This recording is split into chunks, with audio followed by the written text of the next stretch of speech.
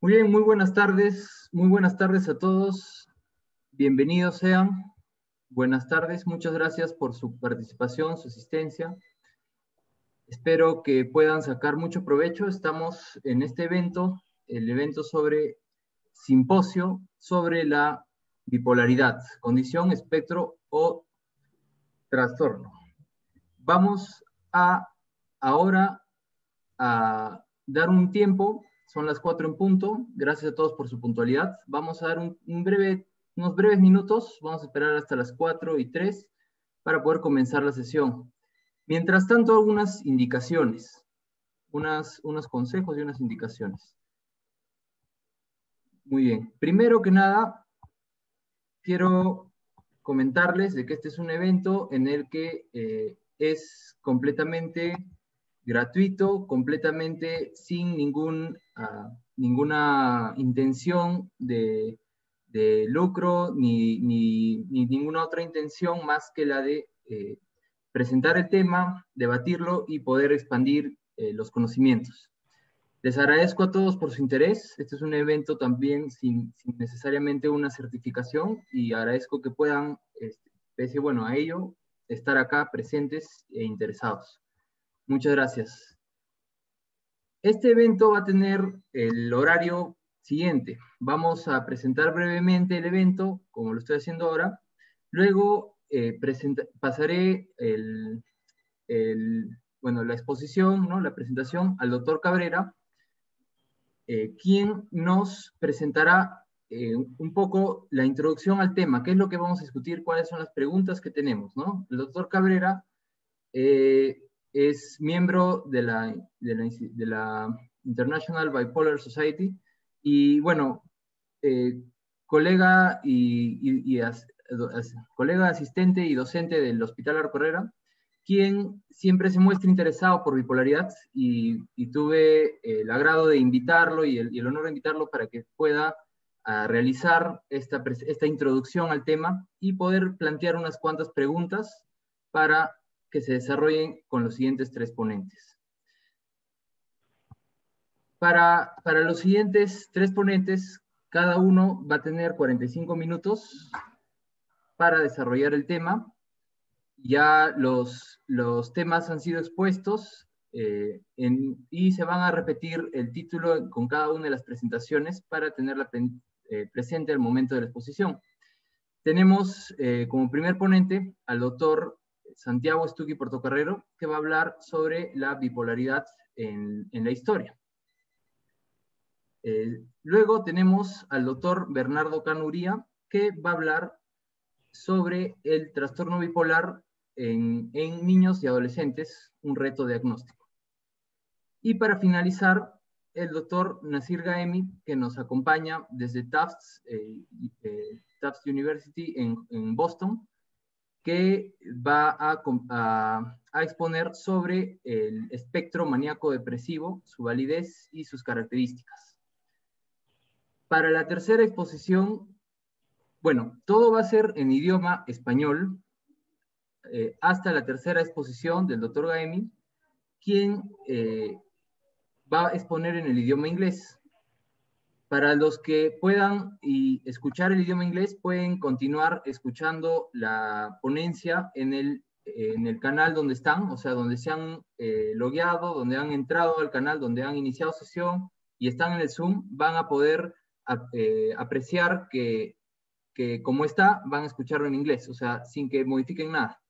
Sin embargo, para los que deseen escuchar la ponencia en español, contamos con un traductor y para lograr escuchar esa ponencia en español, tienen que ingresar en la parte de abajo, donde siempre bueno, están las funciones de desactivar audio, activar cámara, compartir pantalla, grabar, etc. En la parte de abajo hay, una, hay un botón de traducción. En ese botón de traducción pueden poner idioma español y inmediatamente cuando estén en ese canal de español, va a sonar, eh, va sonar inmediatamente, bueno, cuando esté hablando el ponente en inglés, va a sonar para ustedes, los que están en el canal español, va a sonar la voz del traductor que va a ser la, interpretación, ¿no? Al idioma español. Muy bien. vamos a deshabilitar el chat eh, entre todo el público para que no tengan distracciones durante la ponencia. Cualquier pregunta que tengan para los ponentes la pueden ir poniendo. Eh, yo la, bueno, nosotros en el, en el, eh, equipo de, anfitriones vamos a tener acceso a ellas y vamos a poder comentarlas. Y también si es que hay alguna duda o alguna dificultad, también la comentan y vamos a poder resolver sus, sus dificultades. Muy bien. Entonces, estando a las, con este tiempo, 4 y 5, voy a dar paso al doctor Donald Cabrera para que pueda exponer la introducción al simposio. Muchas gracias a todos por su participación. Espero que les sea provechoso y, bueno, disfrútenlo. Eh, buenas tardes. Eh, vamos a comenzar entonces con lo que es el simposio. A mí me ha tocado una breve introducción para los temas que se van a desarrollar durante toda esta tarde. Eh, vamos a empezar hablando sobre lo que es trastorno bipolar y con una pregunta que se relaciona entre lo que es anormalidad o patología. En ese sentido, cuando nosotros tenemos trastorno o hablamos de trastorno bipolar o de bipolaridad, generalmente tenemos que saber que estamos hablando de una patología glial y no netamente neuronal, sino que está ligada a la que es una desregulación o desregulación en las interconexiones gliales, las cuales van a generar a la larga alteraciones debido a un problema en lo que viene a ser mielinización en ciertas zonas específicas de lo que viene a ser el encéfalo, alterando ciertas redes neurales. Estas van a estar ligadas a lo que vienen a ser patologías mentales, ¿sí? Pero por otro lado, también cuando se hace un abordaje un poco más intensivo de lo que viene a ser la bipolaridad, se encuentra una correlación muy marcada con alteraciones fisiológicas en relación a lo que vienen a ser alteraciones en ejes endocrinos, y alteraciones cardiovasculares y sobre todo alteraciones inflamatorias. ¿Por qué es importante mencionar lo que viene a ser la bipolaridad? Porque también está muy relacionada con lo que viene a ser el incremento de lo que viene a ser el suicidio o la suicidabilidad.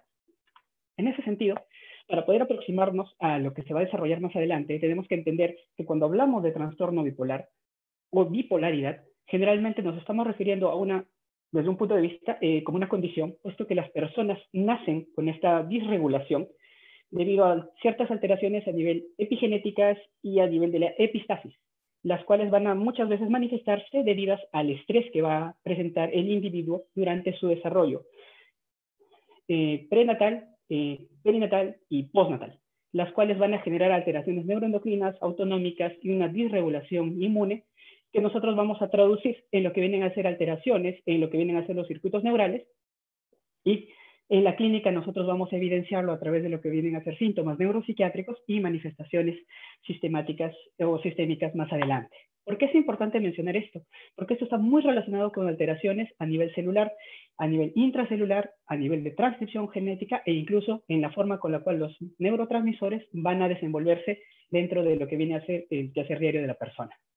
Por otro lado, vamos a encontrar ciertas situaciones que para nosotros van a ser muy relevantes cuando hablamos de trastorno bipolar, puesto que vamos a encontrar eh, lo que vienen a ser alteraciones epigenéticas, en lo que viene a ser mielinización, vamos a encontrar eh, daño celular en algunas personas de una manera muy marcada, el cual va a estar relacionado por factores externos o factores internos de estas personas. En algunas personas, por esta predisposición genética, vamos a tener alteraciones en genes que están muy relacionados con lo que viene a ser la apoptosis celular, vamos a tener alteraciones en lo que viene a ser neuroplasticidad a edades muy tempranas, como también vamos a tener alteraciones en lo que vienen a ser incluso la estructura misma de la célula o de lo que viene a ser todas las sustancias que la mantienen en una, de una manera muy estructurada y muy, muy adecuada para que pueda desenvolverse. Pero aparte de esas alteraciones genéticas, vamos a tener cambios epigenéticos en estas personas que van a ser muy ligados a lo que vienen a ser situaciones psicotraumáticas, alteraciones debido a uso de sustancias o eventos estresantes muy intensos, como por ejemplo el que llevamos viviendo nosotros. Más todo esto no va a tener una correlación única, sino va a estar muy ligada a alteraciones, como bien los mencionaba, que van a generar eh, desmielinización y necrosis celular. Si nosotros nos ponemos a plantear, por ejemplo, desde este punto de vista, lo que viene a ser el trastorno bipolar, tomándolo como trastorno, vamos a enfocar este trastorno básicamente en algo que está muy relacionado con la alteración en lo que viene a ser la plasticidad neural y la, la resiliencia celular, ligada a factores genéticos y epigenéticos. Vamos a tener alteraciones gliales y vamos a tener cambios en lo que viene a ser la plasticidad y vamos a tener un una respuesta muy incrementada a lo que vienen a ser alteraciones debido al estrés, mediado por lo que vienen a ser glucocorticoides. Y esto es muy importante cuando nosotros hablamos de trastorno bipolar, puesto que esta patología está muy ligada a lo que se conoce como ciclo circadiano. El ciclo circadiano viene a ser una cualidad que nosotros poseemos como animales diurnos, en la cual nuestra energía va a estar dividida durante el, durante el día, o nuestra economía va a estar dividida durante el día para poder realizar nuestras acciones y va a disminuir ah, en la noche o cuando no tengamos sol para que podamos descansar y renovar las células que hayamos dañado por este, por este quehacer diario. ¿Por qué es importante mencionarlo?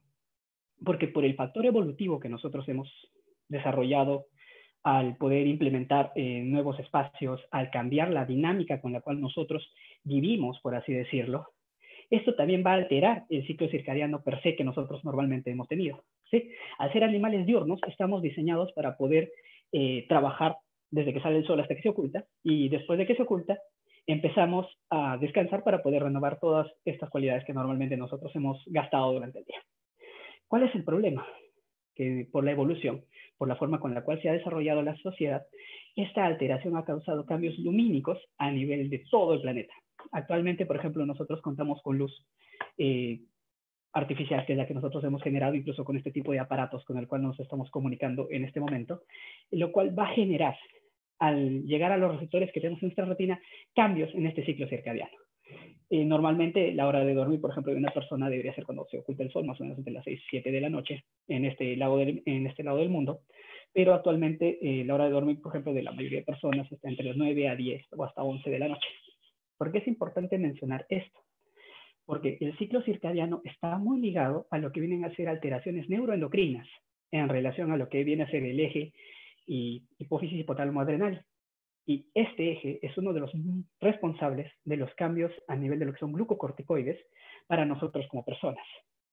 Si nosotros vamos y mencionamos sobre lo que es bipolaridad y las alteraciones que estas personas tienen en relación justo a este ciclo circadiano, ya sea por alteración en los genes clock o la alteración en los otros genes que puedan estar comprometidos dentro de este cuadro, vamos a ver que la patología en sí, o esta manifestación, o esta condición, ha ido incrementándose en los últimos años, incluso por los reportes que se tenían de lo que viene ser trastorno bipolar y ese auge que se ha tenido, por ejemplo, en los años 90 hasta los años 2000 casi, en los reportes, por ejemplo, que hizo Calabres, donde se incrementó la patología de lo que era más o menos un 0.6% a un 1%, y después cuando se incluyó lo que viene a ser el espectro, llegando a lo que son cifras de entre 5 a 6% a 7% de la población, y en algunos reportes hasta casi 9% de la población, con lo cual estaríamos hablando de una población de más o menos casi el 10% eh, que tiene sintomatología o rasgos de trastorno bipolar o de bipolaridad.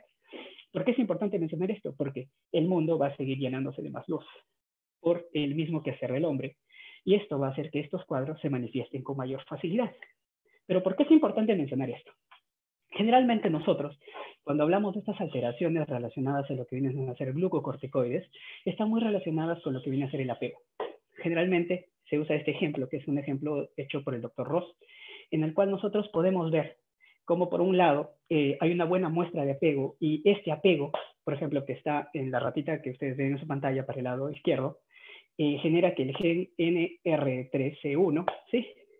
pueda hacer una transcripción adecuada del promotor que va a generar el receptor a nivel del hipocampo, que va a ayudar a manejar lo que viene a ser el estrés más adelante. Mientras que cuando no hay un buen apego en este tipo de, en este tipo de familias, por ejemplo, hay una metilación y no se da la expresión correcta de este gen, con lo cual se disminuye estos eh, glucoreceptores a nivel hipocampal y cuando nosotros nos exponemos a estrés, las personas que no tienen la cantidad suficiente de estos receptores van a tener una persistencia de este estrés por este eje hipófisis hipotálamo adrenal, el cual va a causar que esta persona se mantenga en ese estado de hiperalerta. ¿Por qué nos importa esto? Porque cuando nosotros hablamos de trastorno bipolar, por ejemplo, y hablamos de este daño glial que puedan presentar estas personas desde edades muy tempranas, estas manifestaciones van a incrementarse si estas personas están expuestas a estresores constantes. Generalmente cuando nosotros vemos sintomatología en personas que tengan esta condición o esta anomalía, eh, van a ser mucho más floridas cuando encontramos personas que tienen antecedentes psicotraumáticos. Incluso cuando nosotros vemos los registros epidemiológicos en relación a ello, vamos a encontrar mayor muestra de sintomatología o incluso de psicosis a edades muy tempranas en, estos en estas personas y vamos a encontrar cuadros conocidos como lo que es eh, el trastorno esquizoafectivo, vamos a encontrar cuadros de psicosis persistentes a edades, a edades, mayores y por ende es muy importante la relación que tiene el trauma, por así decirlo, o estas alteraciones debido al exceso de cortisol en las personas. Y si este tipo de eventos traumáticos se da a una edad mucho más temprana, la plasticidad neural va a alterarse con mucha más facilidad. Esa alteración inflamatoria va a ser mucho más persistente, lo cual, por ende, en las personas que tengan estos rasgos o esta predisposición a manifestar este tipo de sintomatología por estas variantes genéticas o epigenéticas, van a ser mucho más floridas. Ahí viene algo muy interesante, porque desde qué parte nosotros podemos diferenciar esta alteración que puede ser como una condición, porque la persona nace con esas predisposiciones y van a empezar a expresarse dependiendo del tipo de vida que tienen. Va a haber personas que tengan menor posibilidad de presentar algún evento traumático o que lo presenten a diferentes etapas de la vida y en base a eso nosotros vamos a encontrar determinada psicopatología en este grupo de personas. ¿Por qué es importante mencionar esto? Porque nosotros vamos a encontrar alteraciones en zonas que nos ayudan a manejar lo que son nuestras emociones. ¿sí? Generalmente cuando nosotros hablamos de control de emociones, estamos hablando de zonas muy relacionadas a lo que es corteza prefrontal, en algunos casos incluso de la ínsula, y nosotros vamos a encontrar en estas zonas, sobre todo lo que viene a ser eh, corteza prefrontal, dorso medial y dorso lateral, alteraciones en lo que viene a ser el trastorno bipolar, puesto que estas personas tienen menor cantidad de glías, en específico de oligodendrocitos en esta zona, y por ende la desinhibición del ánimo va a ser mucho más marcada en estas personas si son expuestas a eventos psicotraumáticos.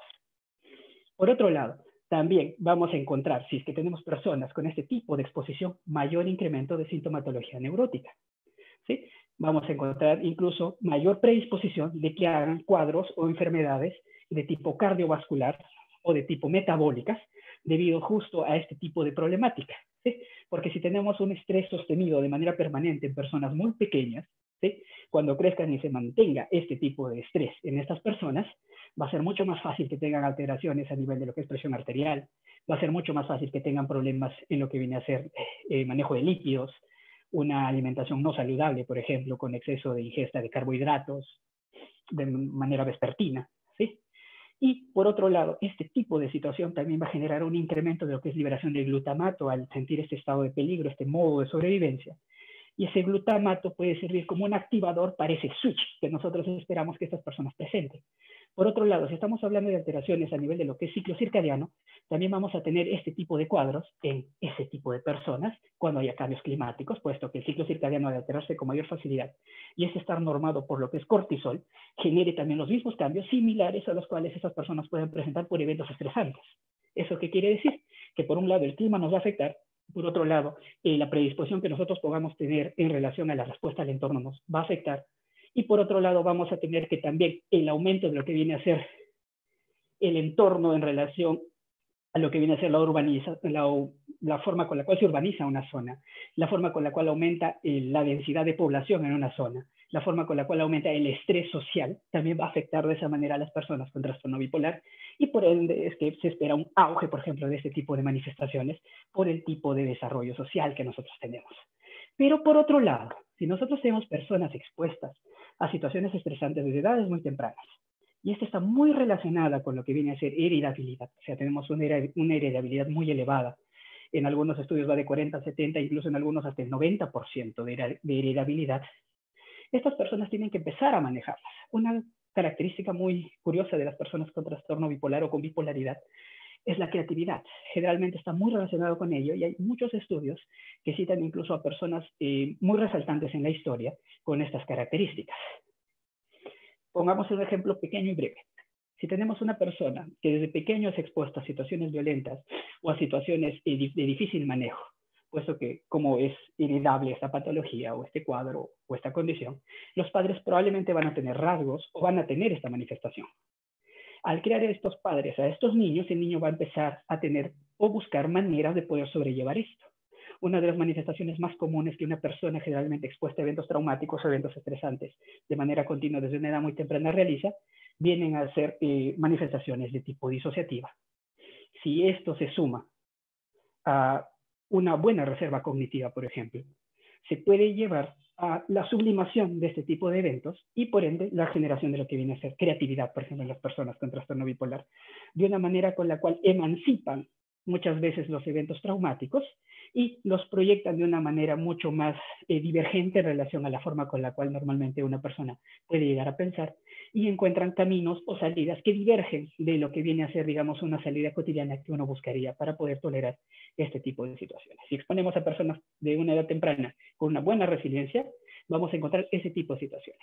En los estudios, por ejemplo, realizados por Greenwood en el 2007, dentro de sus reportes, él plantea que las personas con creatividad que tienen trastorno bipolar generalmente están acompañados de un muy buen soporte sociofamiliar en los primeros años de vida. Mientras que la psicosis está mucho más relacionada con un eh, soporte familiar inexistente o un soporte familiar eh, disregulado eh, de igual manera. Por ende, cuando hablamos de genialidad, por ejemplo, de lo que viene a ser trastorno bipolar, va a depender bastante del entorno de la persona. Y ahí nos viene un planteamiento. Si el trastorno bipolar viene a ser una normalidad, o sea que son personas que no forman la mayoría de las personas que nosotros tenemos, viene a ser eh, derivado de una mala adaptación, porque tal vez no toleren o los eventos estresores que ellos manejan hayan sido demasiado intensos o la forma con la cual el cuerpo los ha manejado no sea adecuado para la forma con la cual están viviendo actualmente, o una patología por el daño que puede conllevar el exceso, por ejemplo, de estresores que van a causar que el glutamato, entre otras sustancias, generen deterioro o neurotoxicidad a la larga en estas personas. Y con ese preámbulo sería importante también mencionar que cuando uno habla, por ejemplo, de un estigma social que ha estallado, como por ejemplo el que estamos viviendo actualmente, las personas que son consideradas diferentes también llegan a estigmatizarse.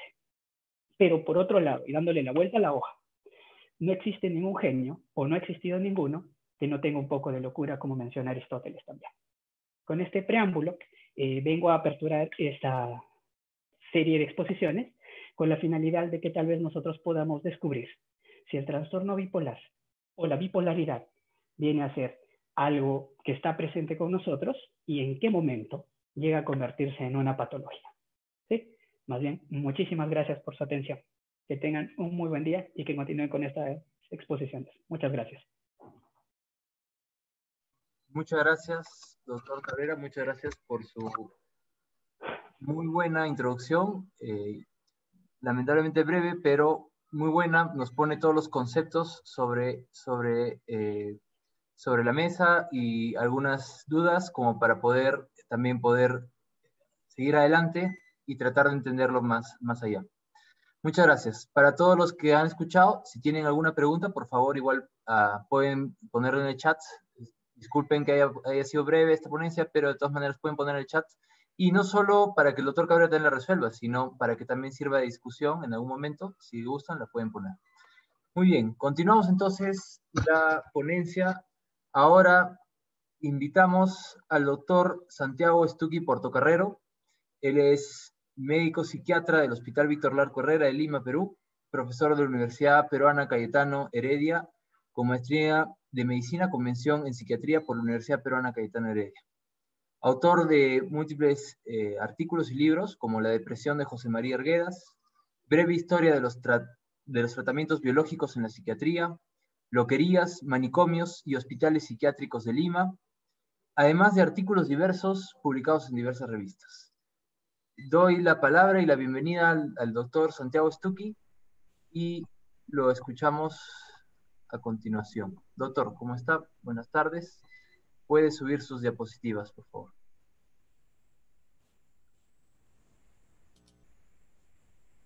Cualquier pregunta, vamos a, vamos a pasar la estructura, va a haber, las preguntas no se van a resolver entre, eh, o sea, después de cada ponencia no vamos a resolver preguntas, todo eso va a ser al final, vamos a terminar todas las ponencias y, están las preguntas. Si quieren ir poniendo una, pueden ponerla y al final se va a hacer a modo de, de discusión.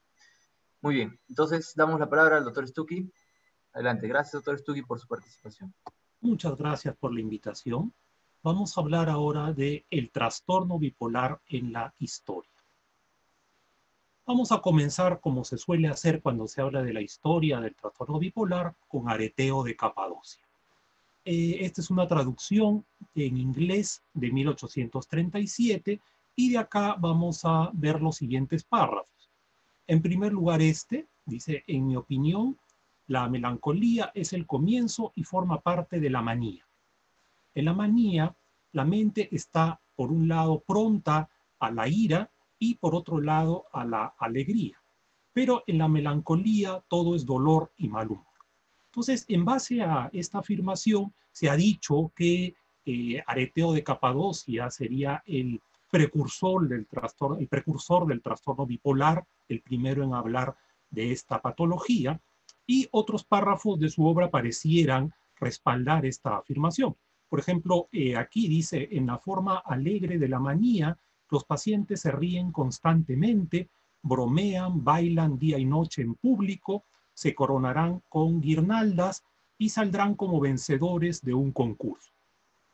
Estamos tentados, pues, a hacer un paralelo entre nuestra manía y la manía de Areteo y de otros autores griegos. Pero otros pasajes de la obra de Areteo eh, no parecen comulgar muy bien con, esta, eh, con, esta, con este planteamiento. Por ejemplo, acá dice, en muchos casos la mente pierde su poder de percepción, refiriéndose a la melancolía, y eh, ellos terminan como tontos, ignorantes de cada cosa y ajenos de sí mismos, alejados, ajenos de sí mismos, ¿no? Y pasan una existencia meramente animal. Entonces, esto, bueno, no parece tanto un caso de depresión como podríamos decir ahora. Y por otro lado, vemos este otro pasaje refiriéndose a la manía que dice las formas de esta enfermedad son infinitas. Acosado por extrañas fantasías, un hombre tiene el temor constante de que algunas botellas de aceite caigan y lo aplasten, mientras que otro no beberá teniendo la idea de que es un ladrillo y que el líquido lo derretirá. Entonces, por supuesto, uno va a ver la obra de Areteo y decía de otros autores griegos y puede extraer efectivamente pasajes que se acomoden a los conceptos actuales que tenemos del trastorno bipolar, pero si somos eh, más prolijos y analizamos otros pasajes, probablemente vamos a encontrar otras partes que solamente de manera forzada podríamos hacerlos calzar en nuestros conceptos actuales podemos también ir a Galeno, esta es una versión traducida, eh, traducida de la traducción en realidad, eh, que dice, un paciente melancólico cree que lo han convertido en un tipo de caracol, por lo que escapará de todos por miedo a que lo aplaste. Otro, al ver algún gallo cacareando y batiendo las alas al compás, batirá sus brazos sobre sus costillas e imitará la voz del animal. Bueno, esto nos lleva a plantear algo que ya han dicho autores como Jackson, Berríos y Porter, por poner algunos ejemplos, que la historia de un trastorno, de, un, concepto, no necesariamente va de la mano con la historia de la palabra. Eh, es decir, que la, si bien palabras como manía y melancolía existen efectivamente desde hace mucho tiempo, el significado no ha sido el mismo, ha ido cambiando Vemos, por ejemplo, ya adelantándonos hasta el siglo XVII, eh, vemos este diccionario de la lengua castellana de Covarrubias eh, del año 1611, y aquí encontramos la entrada referente a la melancolía, que la define como enfermedad conocida y pasión muy ordinaria, donde hay poco contento y gusto.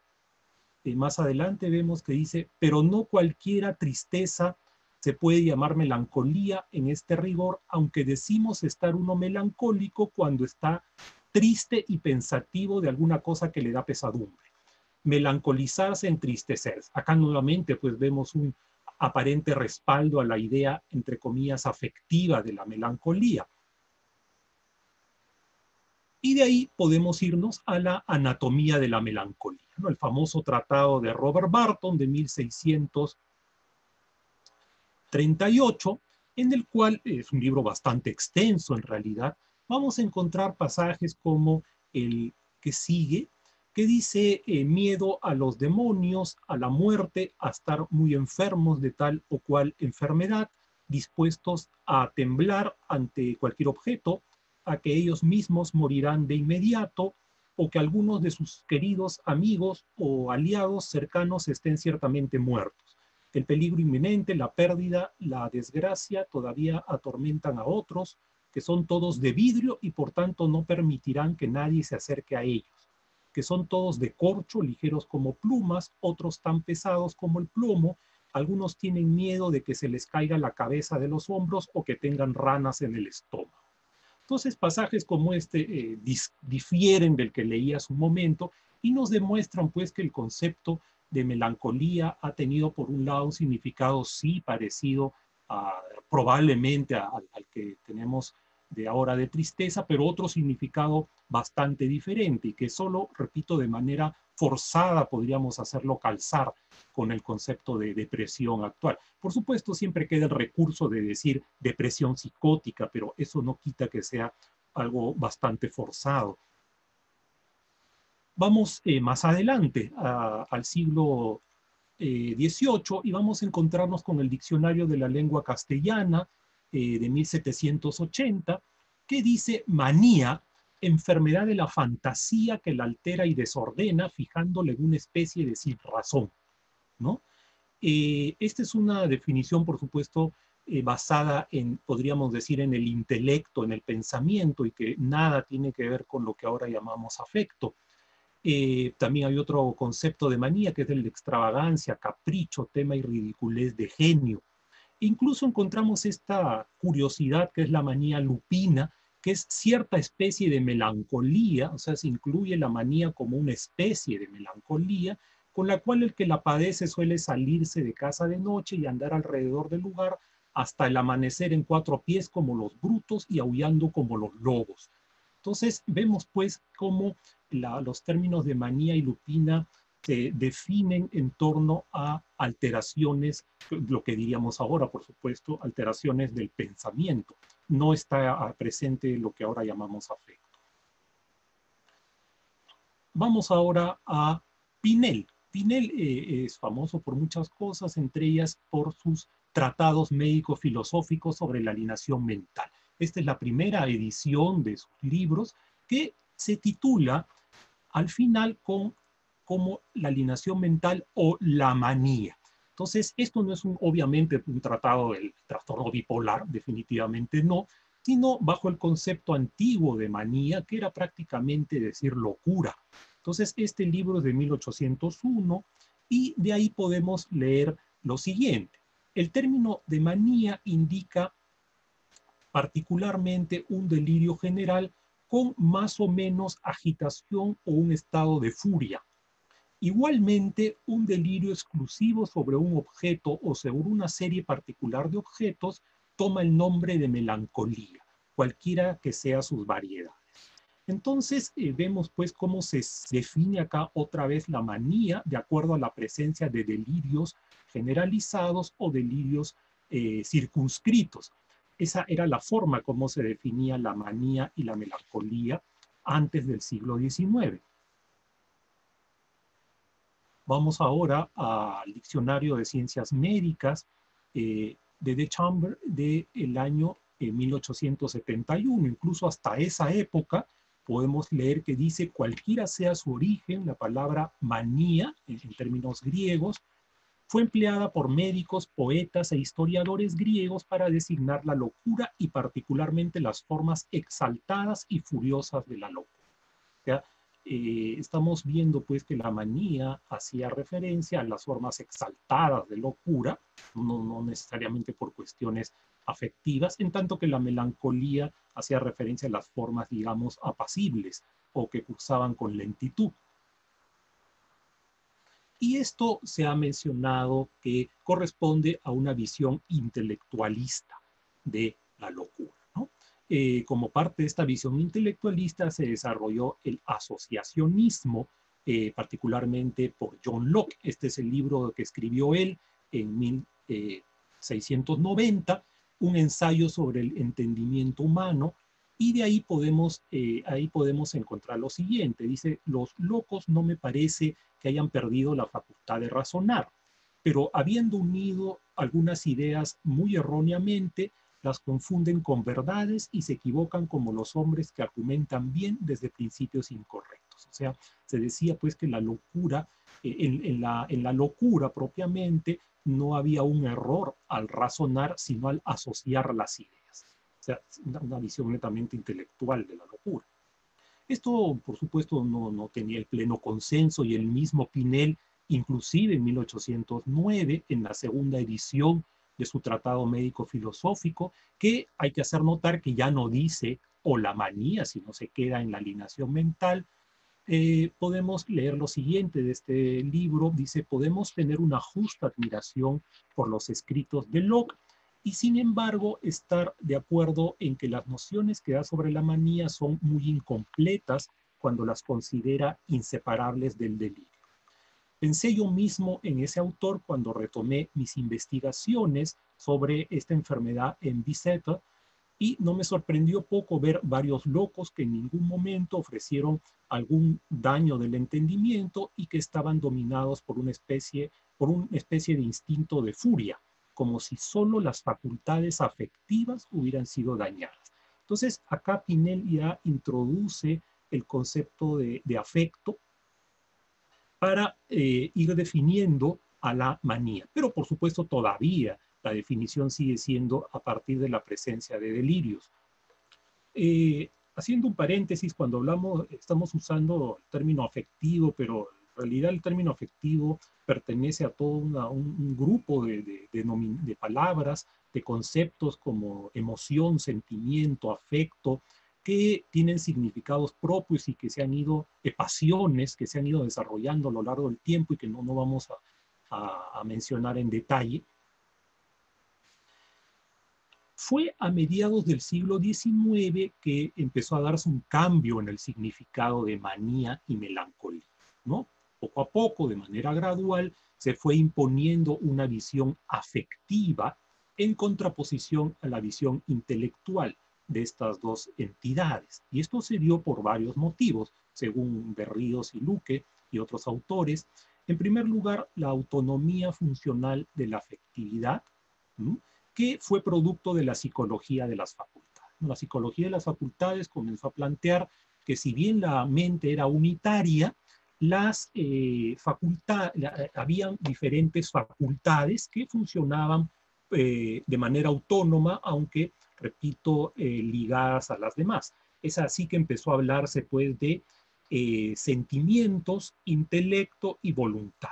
Entonces, con este marco teórico, por supuesto, esto es más complejo, lo estoy resumiendo de manera muy, muy breve, pero eh, con este marco teórico es que se le empezó a dar autonomía a la afectividad y por lo tanto fue factible ya empezar a hablar de anomalías del afecto, recién en este momento.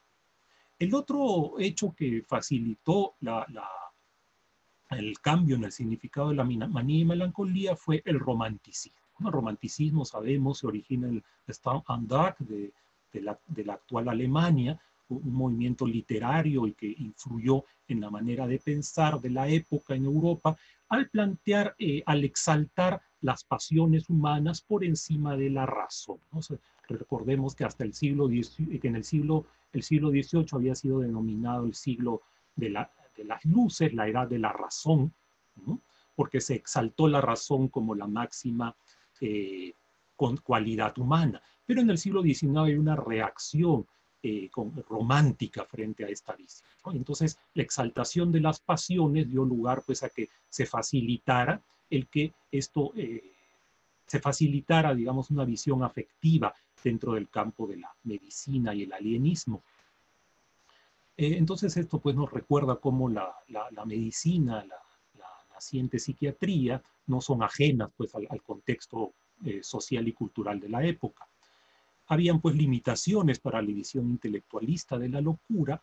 el otro hecho fue el nacimiento del modelo anátomo-clínico de la enfermedad, cosa que nos parece obvio ahora, pero que no lo ha sido siempre.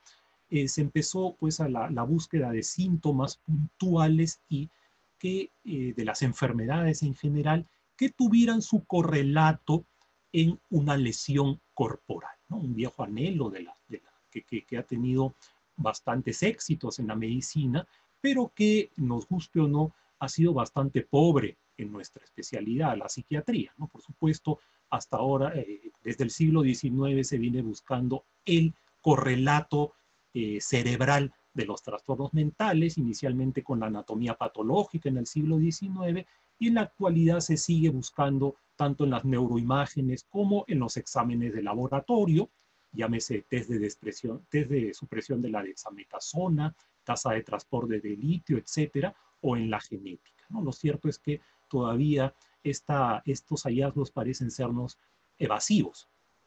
Bueno, volviendo al tema, el nacimiento del modelo anátomo clínico de la enfermedad dio lugar al desarrollo de la psicopatología descriptiva ¿no? en el siglo XIX. Y como parte de esta psicopatología se desarrolló también una psicopatología de los afectos, aunque no tan, bien no tan desarrollada como la psicopatología del pensamiento. Y también empezó a incluirse las experiencias subjetivas en, la descripción de las locuras. Esquirol, Jean-Étienne Dominique Esquirol, discípulo de Pinel, en su obra Las enfermedades mentales de 1838, eh, nos, da, eh, nos muestra el siguiente párrafo. Antes de leerlo, hay que decir pues que la, visión predominantemente progresivamente afectiva de la melancolía y la, la manía llevó a algunas reformulaciones. Por, por ejemplo, lo que vamos a mencionar ahora, Esquirol consideró que el término melancolía había que dejárselo a los escritores y poetas, ¿no? a la gente que no es médica, y había que ya hacerlo a un lado de la medicina. Y por lo tanto, él dividió la antigua melancolía en dos, la lipemanía y la monomanía. Y conservó la manía, la demencia y la imbecilidad o idiotez. La lipemanía, dice acá, o la melancolía de los antiguos, es un delirio sobre un objeto o un pequeño número de objetos con predominancia de una pasión triste y depresiva. Ojo, él ya introduce, eh, nuevamente eh, introduce ya la parte afectiva en la definición de su lipemanía, pero también le da el componente eh, del delirio. Ojo, le da ambos componentes a la lipemanía. Y por otro lado, la monomanía dice es aquella en la cual el delirio está asociado a un solo objeto o a un pequeño número de objetos con excitación y predominio de una pasión alegre y expansiva. ¿no? Acá también se da pues una, una descripción eh, intelectual, digamos, y afectiva. Entonces, el concepto de lipemanía y de monomanía van a funcionar como definiciones puente entre la antigua visión intelectual y la nueva visión afectiva de la manía y la melancolía. Y es acá cuando empieza a hacer su eh, aparición el término depresión. ¿no? El término depresión ya existía desde antes. Por ejemplo, en el diccionario que ya hemos visto de la Real Academia Española de 1780, la depresión era definida como abatimiento y humillación. Y abatimiento era a su vez la acción o efecto de abatir, abatimiento, bajeza o estado despreciable, abatir, derribar, derrocar, echar por tierra. no, no había mucha relación con lo que llamamos ahora depresión. En 1852, 70 años después aproximadamente, la décima edición del Diccionario de la Lengua Castellana define depresión como abatimiento, humillación, disminución del volumen de un cuerpo, abatimiento como la acción y efecto de abatir, y abatir como derribar, derrocar, echar por tierra, humillar, envilecer, y ojo, hacer perder el ánimo. Entonces acá ya se introduce el concepto de ánimo en 1852. Y en 1860, en el diccionario de Maine, eh, que vemos acá, encontramos que eh, depresión se define como eh, se aplica a una disminución del espíritu en personas que sufren bajo una enfermedad. es un concepto netamente emocional. La depresión, como palabra, había nacido en realidad de la medicina cardiovascular y había hecho referencia a una disminución de las funciones fisiológicas. Y poco a poco se fue imponiendo por encima del término melancolía, eh, porque, probablemente porque los médicos preferían esta palabra al aludir a una explicación fisiológica y porque tal vez porque se alejaba de la teoría humoral. Recordemos que melancolía viene de bilis negra. Entonces, una, una explicación bastante antigua, entonces quizás eso llevó a que la palabra depresión eh, fuera preferida, hasta terminar desplazando casi por completo a la palabra melancolía, que fue quedando solamente como una forma grave de depresión en ancianos, como vamos a ver luego. La aparición de las eh, patologías afectivas dio lugar a que se empezaran a plantear las formas combinadas. Entonces, aquí viene pues la polémica eh, famosa entre Farret y Belargé. Eh, Farret había planteado en 1851 la forma circular de la enfermedad mental y unos años después Belargé planteó la locura de doble forma. ¿no? Después hubo toda una polémica sobre quién fue primero, si Farret o Belargé. ¿no? Entre ellos mismos se acusaron de plagio, al final no quedó claro quién había sido el primero. Autores posteriores en Francia, como Legrand Dusson, plantearon términos parecidos como el de la locura alterna y Bilot el de la locura de doble fase. Otros autores eh, de habla germánica, como Kirn, plantearon las eh, psicosis cíclicas y Kraft-Ebing la locura circular. Por supuesto, el, asociar manía con melancolía no era nuevo. Ya eh, eh, autores como Wislen en 1826 en su tratado habían dicho que una circunstancia que dificulta la distinción de estas enfermedades es su tendencia a transformarse unas en otras. Así como la monomanía puede cambiar a manía o en demencia, eh, eh, que la manía eh, puede transformarse en monomanía o en demencia y que mm, esta última puede tomar el carácter de manía o monomanía. La idiotez en algunos casos se convierte en monomanía. Entonces, lo que está planteando Wislen es en realidad que todas las formas de locura, llámese manía, llámese melancolía, llámese demencia o idiotez, pueden intercambiarse mutuamente. Entonces, esto difícilmente puede ser un paralelo con el concepto de Farret y Belargé. Simplemente es el uso de la, término manía y melancolía. Bueno, Farret eh, había planteado primero en, 1851 la idea de la locura circular y él siguió publicando eh, artículos sobre esta, este concepto por ejemplo, en este artículo de 1854 dice nosotros eh, utilizamos el nombre de locura circular eh, porque los desafortunados enfermos que eh, están afectados por ella pasan su existencia en un círculo continuo de depresión y de excitación maníaca con un intervalo de lucidez que ordinariamente es corto, pero que en ocasiones puede tener una duración prolongada. Más adelante, eh, en este artículo de en los anales médicos psicológicos, el anterior, me olvidé mencionar, había sido publicado en el Boletín de la Academia Imperial de Medicina.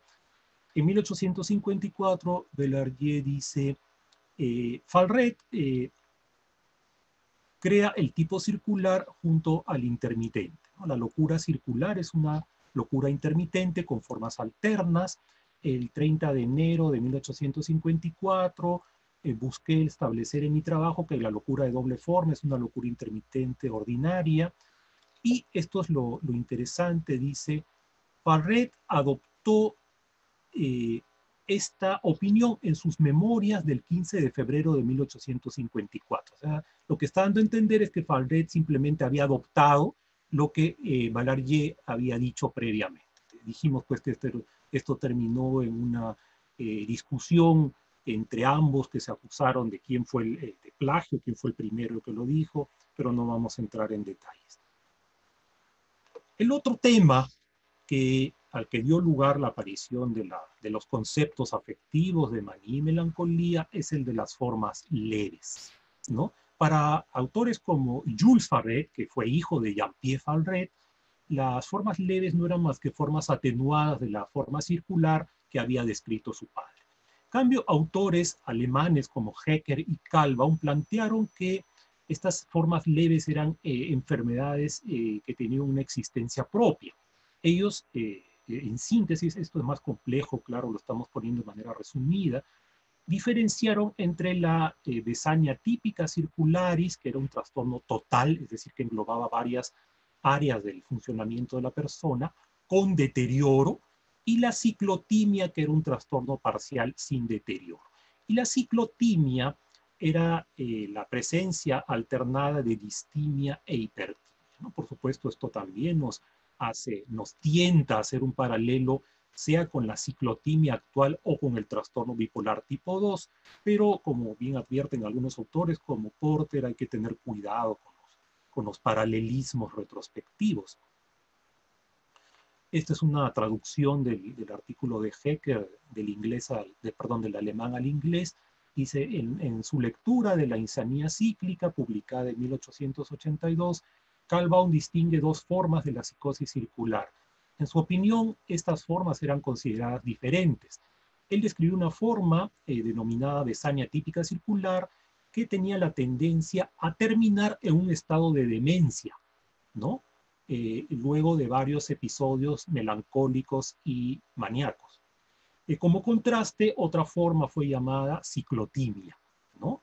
en la que se propone que nunca se llega a un estado de confusión o demencia, lo que acabamos de decir.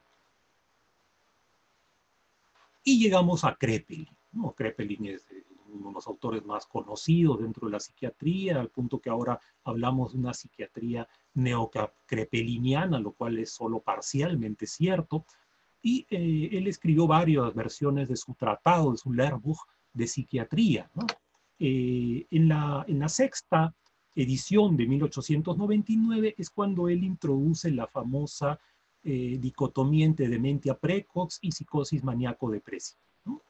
Pero ya antes, en la quinta edición, la de, de Lehrbuch de 1896, él había, eh, eh, por supuesto la clasificación es más grande, pero es la, la dicotomía famosa, él había planteado la diferencia entre aquellas psicosis deteriorantes, ¿no? y aquellas, aquellas locuras periódicas de buen pronóstico. Estas últimas incluían a la manía, la melancolía y la locura circular. Y es en la sexta edición, habíamos dicho, de 1899, que las locuras deteriorantes se agrupan eh, bajo la denominación común de dementia precoz, ¿no? que algunos pues dicen que es la la actual esquizofrenia, lo cual no es cierto, puede ser el antecesor de la esquizofrenia, pero no son sinónimos. Eh, no vamos a entrar en detalles porque no es el tema. Nos vamos a centrar en la, la otra patología que fueron las locuras maníaco-depresivas, que tampoco es un sinónimo de trastorno bipolar, claro que no.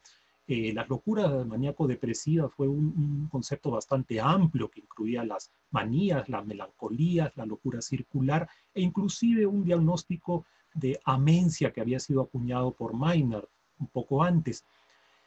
No incluyó dentro de la locura maníaco-depresiva a la melancolía involutiva porque consideró que ésta debía estar dentro del grupo de las psicosis involutivas, ¿no? Un grupo que incluía además a la demencia senil.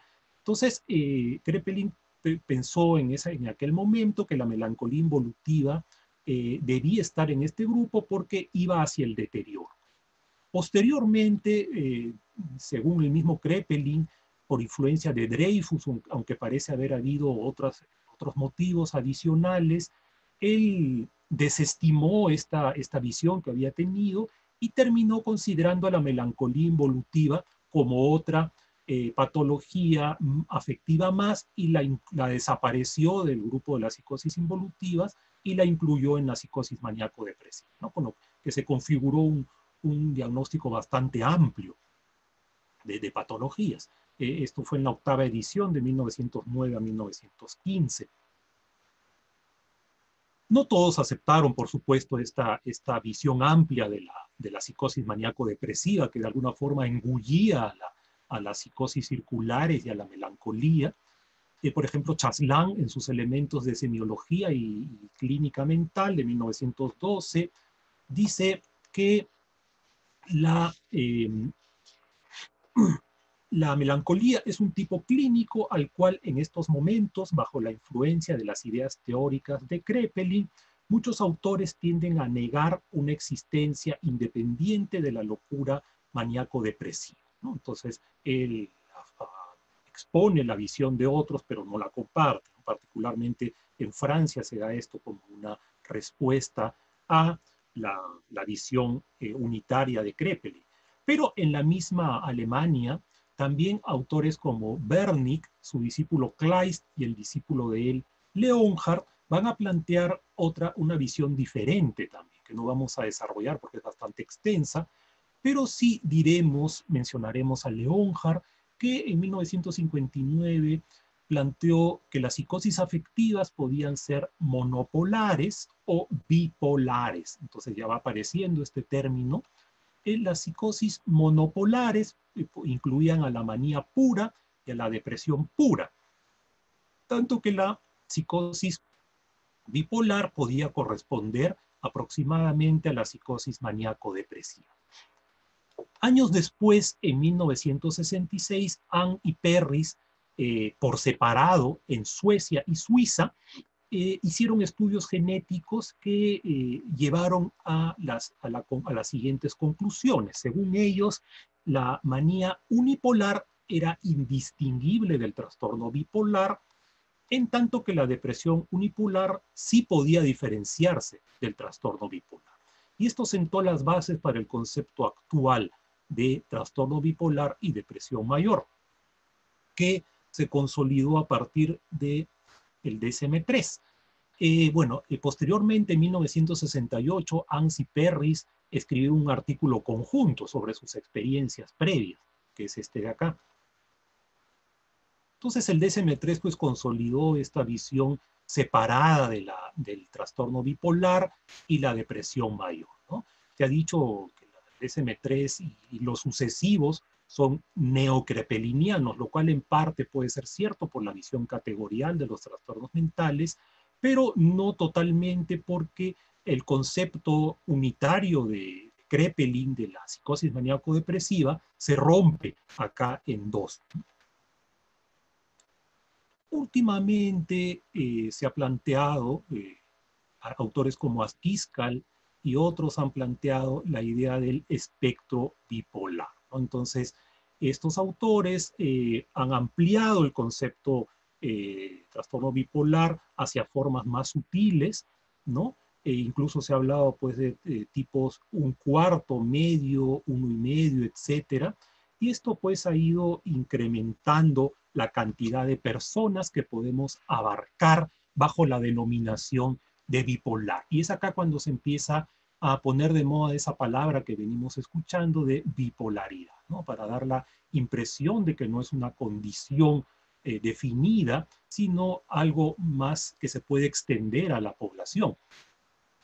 Em, em, esto pues puede llevar a la idea de que cada vez hay más personas con trastorno bipolar, lo cual habría que, que pensarlo dos veces, ¿no? Realmente hay más personas con trastorno bipolar, pues que al ampliarse los criterios estamos incluyendo más personas simplemente. Tal vez se trate de lo segundo. Por supuesto, es un tema bastante amplio que lo estoy mencionando de manera bastante superficial. Por supuesto, no todos están de acuerdo con esta idea, ¿no? Rara vez en la psiquiatría nos ponemos de acuerdo en torno a algo.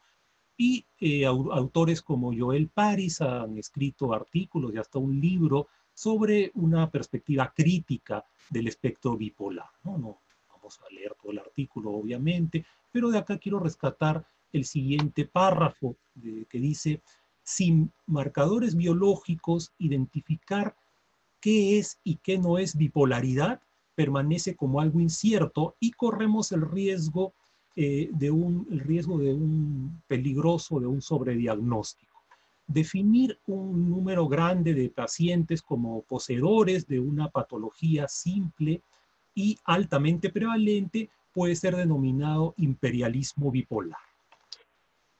Bueno, para terminar, eh, diré pues que la visión eh, histórica, el conocer la, historia de, la, de determinada patología nos lleva pues a replantearnos los conceptos que podemos tener en la actualidad y a poner en su justa medida algunas ideas que van surgiendo. ¿Qué quiero decir?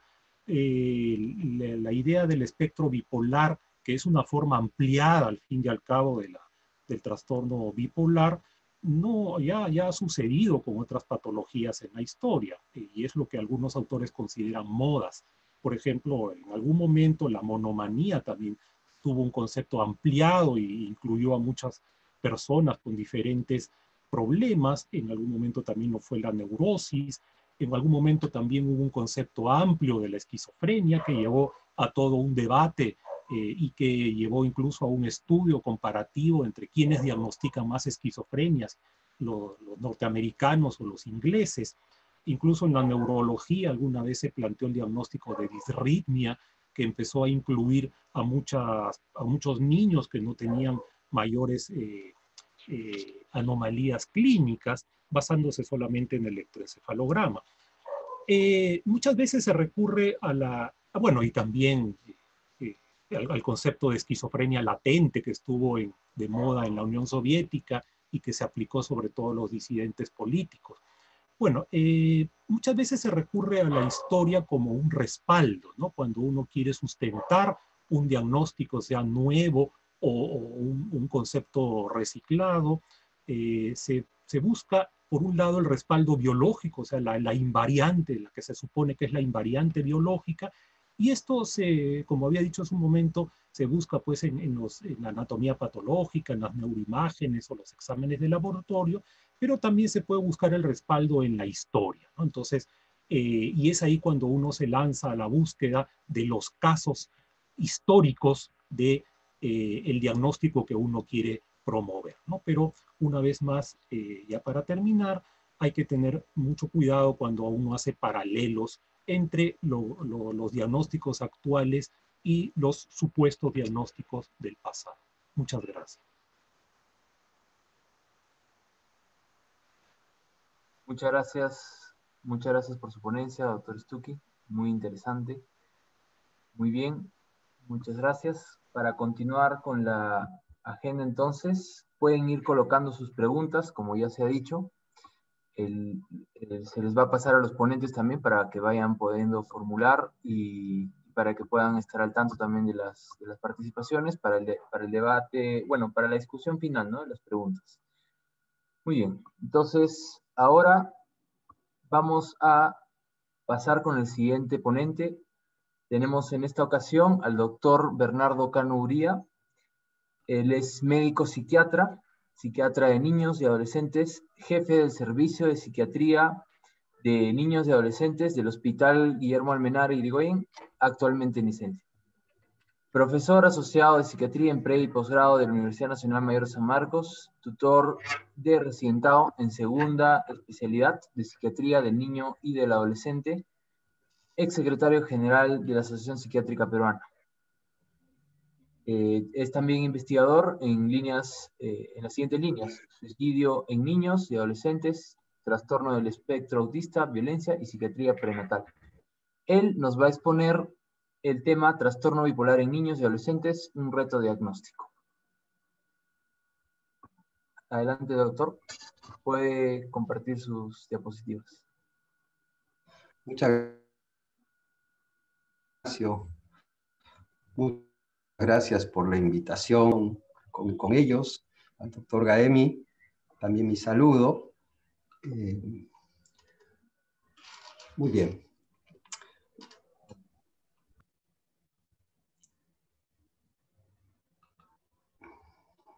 Ok. Bien, eh, el tema que yo quiero compartir con ustedes es el que de alguna manera me corresponde en calidad de psiquiatra, psiquiatra de niños y adolescentes, la preocupación que significa para nosotros en el Hospital Guillermo Almenara, un hospital general, eh, que atendemos una gran demanda de pacientes eh, y que vienen derivados como una, eh, una red que es el Hospital Almenara, vienen transferidos muchas veces ya con diagnóstico eh, y es el único servicio de psiquiatría de niños y adolescentes de la institución, es decir, de salud, eh, sabiendo que compartimos con el Hospital Rebagliati también esta atención. Eh, es abrumador el número de pacientes, pero esta casuística elevada que tenemos de alguna manera nos permite, primero, eh, conformar campos clínicos para la formación de psiquiatras de niños y adolescentes, y segundo, eh, la experiencia que se va ganando de ver esta abrumadora cantidad de pacientes, dentro de ellos los trastornos afectivos. ¿Y eh, cómo llegamos a este interés en los trastornos afectivos? Y es a través de la experiencia de eh, observar eh, primeramente la expresión más grave del problema de la bipolaridad eh, y de los trastornos depresivos también, que es el suicidio, pero este, en este caso el de niños y adolescentes. Nos interesa mucho este punto porque reconocemos que sobre suicidio en psiquiatría es posible que sepamos menos que sobre la conducta suicida sobre conducta suicida somos eh, algo así como expertos, pero sobre el suicidio consumado nos falta conocer más. Y dentro de ello está la antesala, que son la depresión y los trastornos bipolares. Pero también tenemos eh, mucho interés en eh, la psiquiatría prenatal, recordando que el Hospital Almenara tiene servicio de ginecobstetricia, atendemos madres gestantes en psiquiatría de enlace, en la interconsulta, y nos permite ver el problema de la gestante con eh, graves estresores y las consecuencias que es el nacimiento de niños con bajo peso, por decir algo nada más. Y ese es otro interés, como también eh, los trastornos del humor en el servicio de psiquiatría, es decir, los cuadros depresivos que vemos y que ocupa un privilegiado cuarto a quinto lugar de demanda de atención en la consulta externa. Con todo ello, es que nos enfrentamos a este tema, el trastorno bipolar en niños y adolescentes, como un reto diagnóstico. Es decir, llegamos a esto a través también de la invitación de ustedes y a eh, revisar nuestras casuísticas. Y eso es lo que queremos presentarles. Es decir, a través de estas investigaciones, eh, ¿qué es lo que podemos aportar en el conocimiento de este trastorno afectivo bipolar que genera definitivamente muchas controversias, como están viendo, pero también significa un reto, pero un reto en el sentido, eh, en esta acepción, que es el objetivo o empeño eh, difícil de llevar a cabo y que constituye por ello un estímulo y un desafío para quienes lo afrontaremos. El trastorno bipolar eh, es ese tipo de reto porque hay muchas cosas que aún no conocemos, pero en el caso de esta población infanto-juvenil es, es aún mayor porque aún no se presenta declarado el trastorno bipolar y ya viene con pródromos. Pródromos que pueden ser diagnosticados en forma diferente a lo que es el trastorno bipolar y que en el camino se va conformando este trastorno. Y entonces nos vamos dando la sorpresa de que inicialmente este niño traía otros diagnósticos y en el proceso se va adhiriendo y se va conformando esto que es el problema que nos convoca el día de hoy. Entonces, vamos a ver ya no tanto la historia. Claro que la historia del trastorno bipolar es sumamente interesante, como el doctor nos los ha expuesto, pero también la historia del trastorno bipolar en niños y adolescentes, es decir, cómo se enfatizó en algún momento y se vio que esto podría ocurrir tempranamente, porque generalmente se atribuía a personas adultas, a jóvenes inclusive, pero los niños, las mujeres y los ancianos podrían tener menos proclividad a este trastorno. Sin embargo, ya veremos de que sí había algunos puntos de observación al respecto.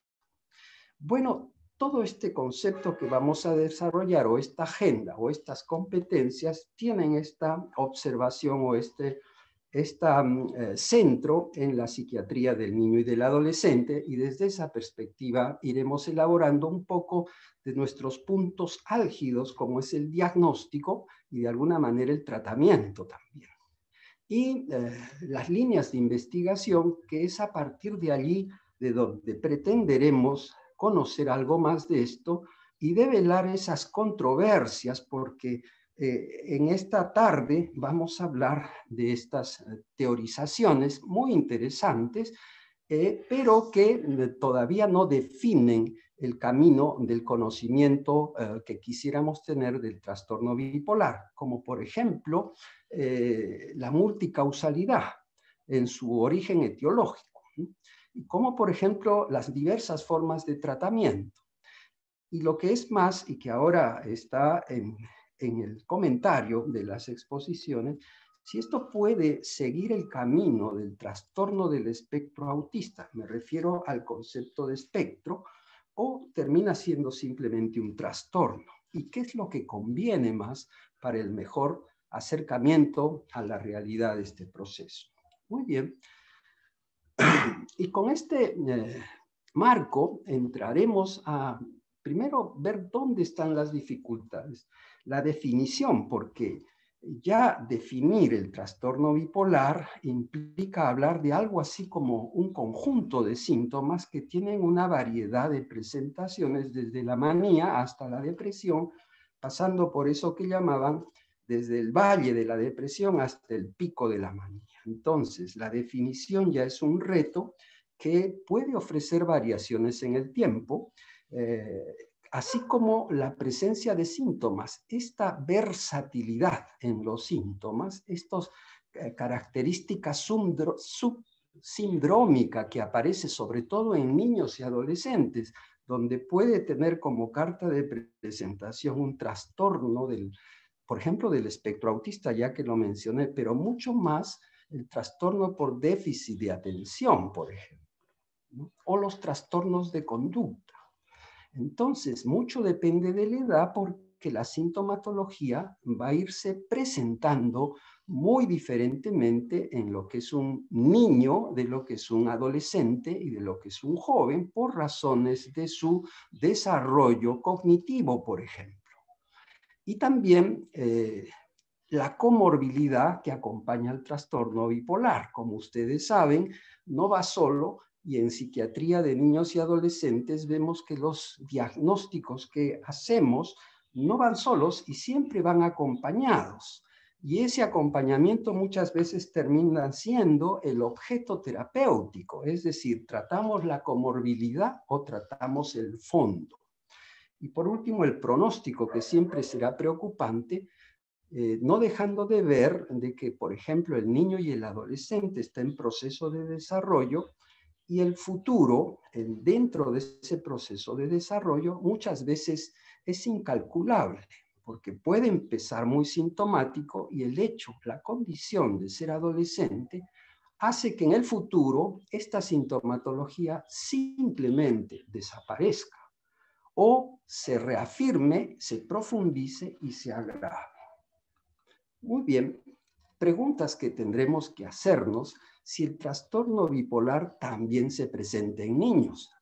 Ya sabemos que en la historia em, se prestó un eh, punto de atención em, mucho menos notorio en la patología del niño y del adolescente a través de toda la historia de la psiquiatría. Es decir, la depresión recién se adjunta a como trastorno en la población pediátrica en la década de, de los 80 eh, del siglo XX. Entonces vemos cómo eh, no siempre ha habido un punto de observación en la atención de los síntomas psiquiátricos en la población infantil. ¿Y cuáles son los criterios diagnósticos en niños para hacer ese diagnóstico si eh, por mucho tiempo, al igual que en la esquizofrenia, se ha visto como igual la sintomatología del adulto como la del niño, sabiendo de que hay notorias diferencias por las mismas características representativas de la edad.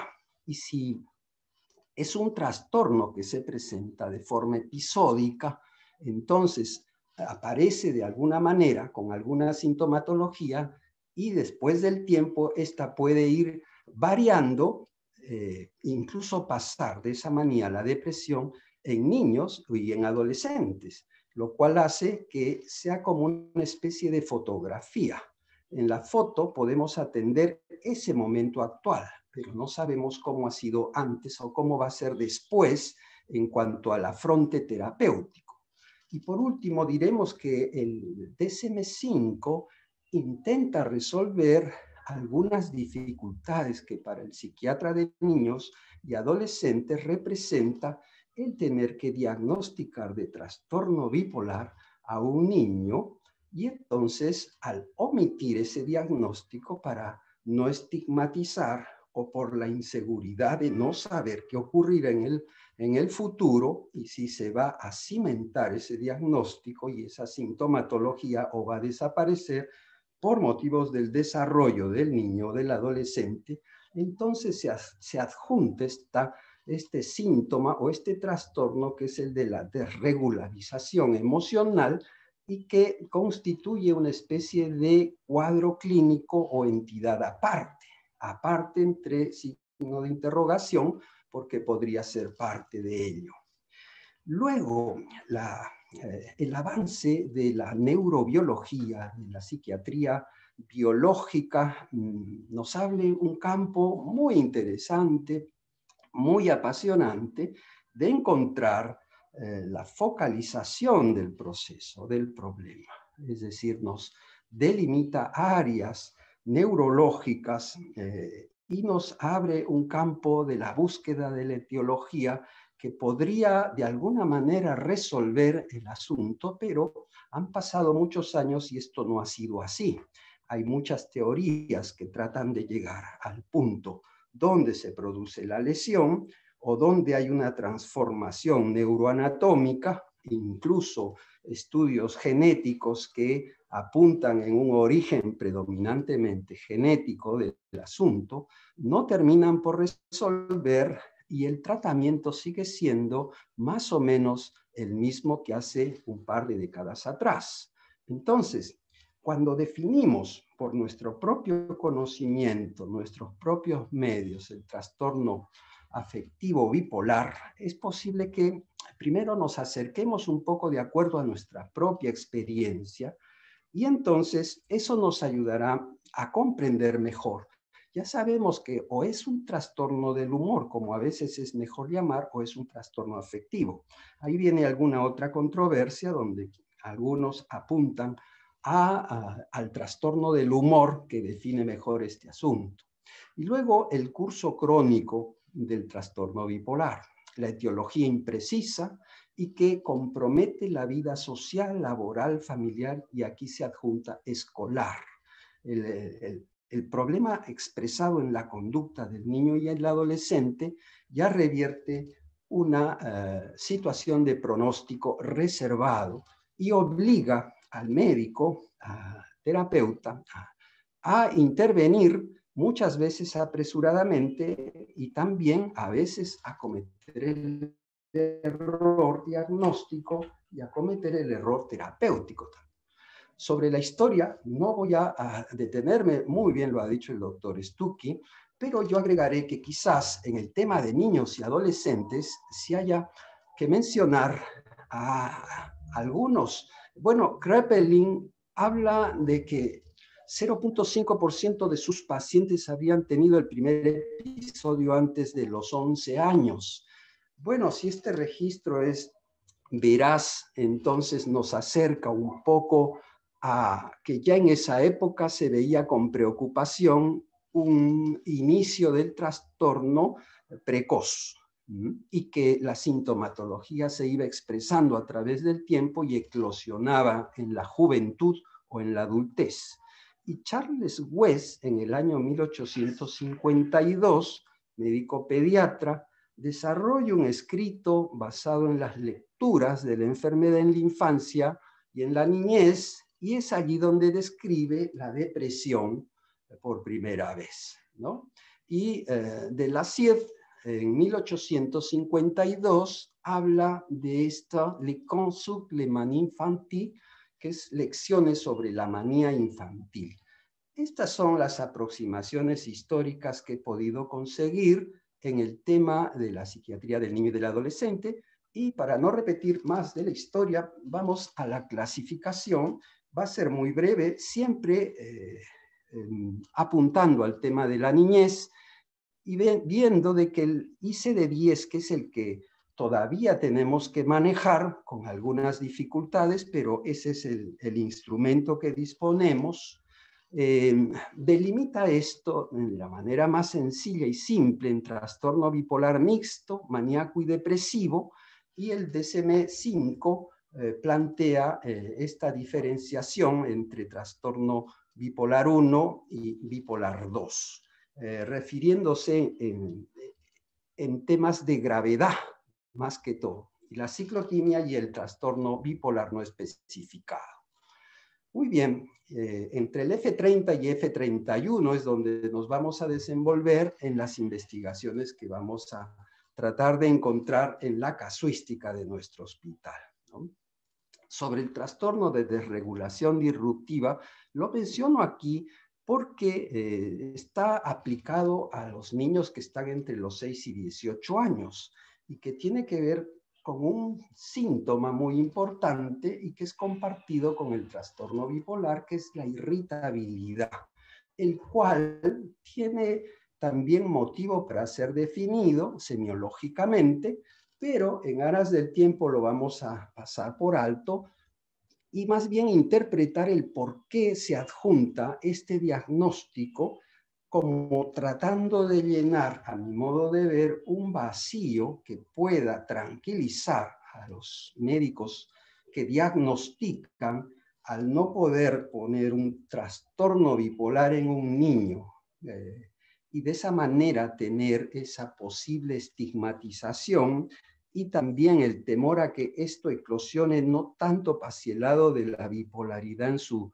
juventud o en su adultez, es que eh, existe este diagnóstico como para una antesala. Sin embargo, este trastorno de desregulación disruptiva también podría decirse que tiene algunos defectos, puesto que se plantea como terapéutica psicofarmacológica el uso de antidepresivos inhibidores selectivos de la recaptación de serotonina, y ya sabemos de que eso también puede traer algunas consecuencias si es que el diagnóstico no es correcto. Sobre la epidemiología en niños y adolescentes, es muy pertinente ponerle mucha atención en nuestra casuística porque efectivamente ah, existe eh, probablemente en el inconsciente de nosotros, los prescriptores, los conocedores, eh, alguna especie de eh, tendencia a ver el problema y podría ser magnificado más allá de la realidad. Es decir, eh, podría ocurrir lo que en el trastorno del espectro autista se está viendo, de que se ha incrementado, se ha duplicado y casi triplicado la casuística epidemiológica en los últimos 20 años. Y la causa de esto eh, es posible interpretarla de muchas formas.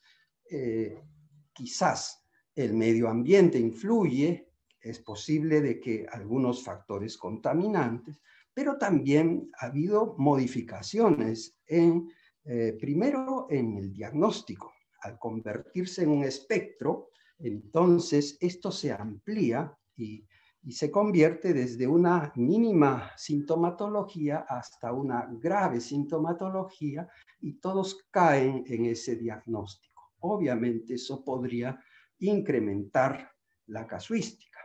Sin embargo, eh, no explicaría absolutamente todo el por qué ese incremento en estos últimos 30 años de este diagnóstico, pero también eh, que se ha apuntado a mejorar el diagnóstico. Esa es la, digamos, la justificación del concepto de espectro. Es decir, que no se escape el diagnóstico de la observación clínica, porque el espectro significa tomar en cuenta una serie de matices de la sintomatología que pueden estar presentes. sobre todo en el trastorno bipolar, donde vemos que parte de la antesala de este trastorno está en algunos otros que son que ocupan, por ejemplo, en el servicio nuestro de psiquiatría de niños y adolescentes del hospital, el primerísimo lugar en eh, consultas externas, que es el TDAH, el trastorno por déficit de atención, y que nos ocupa eh, el primerísimo lugar, seguido del segundo, que es el trastorno de espectro autista. Esos son los dos diagnósticos más frecuentes en épocas de no pandemia que ocupaban nuestra atención en consultorio. Y en cuarto o quinto lugar están todos estos trastornos depresivos, trastornos afectivos, que hoy en día nos preocupan porque ya asoma el trastorno bipolar como uh, uno de los diagnósticos que empieza a hacerse frecuente. Bien, yo decía de que en estas épocas, eh, con las observaciones, con las investigaciones y con las, la bibliografía abundante, em, da la impresión de que los síntomas de salud mental se incrementan, obviamente, y tenemos por medio incluso una pandemia que también eh, viene a agregar en los factores estresores, entonces, eh, nos pone esto al frente si realmente estamos frente a un incremento de la patología afectiva y si ésta está bajando en cuanto a la edad. Eh, si es así, eh, nos preocuparía en la investigación, primero de confirmar dichos diagnósticos, si están adecuadamente hechos, y segundo, verificar si lo podemos constatar con, algunas otros, eh, con algunos otros escenarios, ¿no? O con algunos otros países. Se ha hecho estudios y revisiones eh, en metaanálisis, en la búsqueda de si es que realmente el diagnóstico de bipolaridad se ha incrementado en poblaciones de adolescentes y niños, y en múltiples revisiones en metaanálisis no siempre confirman esto. Y eso hay que comentarlo porque eh, a veces hay información eh, muy eh, diferenciada, es decir, que puede confirmar el incremento y otras donde se comprueba que no se puede validar esta información. Muy bien, entonces la investigación sobre trastornos bipolares en pediatría sí ha aumentado. Y ese es un indicativo de que es un motivo de preocupación. Bueno, las investigaciones aumentan por algo. Ya eso nos da eh, por lo menos un, motivo de interés. La prevalencia media eh, ponderada del trastorno del espectro bipolar también fluctúa, tiene un marco amplio porque los eh, sistemas metodológicos en la investigación no son homogéneos. No olvidemos la gran versatilidad de los síntomas que ofrece este trastorno, pero está alrededor del 3,9%. Eh, como decía, metaanálisis actualizados confirman que las tasas del trastorno del espectro bipolar no son más altas en los Estados Unidos que en otros países, por ejemplo. Los criterios diagnósticos entonces todavía faltan estandarizar pero hay aquí dos estudios hechos hace eh, ya varios años atrás, que los pongo a su observación, en donde se comenta, se afirma que un 20% de los casos se inician antes de los 20 años y en otro estudio un 50% se inician antes de los 25 años. Ah, de acuerdo a nuestra experiencia y a lo que vemos en nuestro hospital, podríamos decir que a muy temprana edad se ven trastornos en la esfera del afecto, las depresiones que muchas veces obligan al internamiento, a la hospitalización y también al eh, tratamiento psicofarmacológico. Eso, de eso eh, somos testigos y no olvidemos que cuando se está en una institución donde quienes hacen los diagnósticos son psiquiatras, y son psiquiatras de niños y adolescentes y tienen una casuística que les permite desarrollar una experticia en niños y adolescentes, entonces en base a eso es que podemos reafirmar de que sí existe un trastorno afectivo eh, que se incremente en población de niños y adolescentes, pero con una condición, es decir, el medio ambiente tiene mucho que ver. Eh, sociedades complejas eh, tienen más proclividad a tener sintomatología en sus poblaciones y en sus poblaciones más vulnerables. Creo que esa sería parte de una de estas conclusiones de este, este tema de la bipolaridad. Tres estudios reportan eh, datos importantes sobre que el 60% del trastorno bipolar en adultos empezaría antes de los 20 años. Entonces, estamos hablando de poblaciones de jóvenes. Eh, mencionaré a los autores porque es muy importante eh, verificarlos, buscarlos.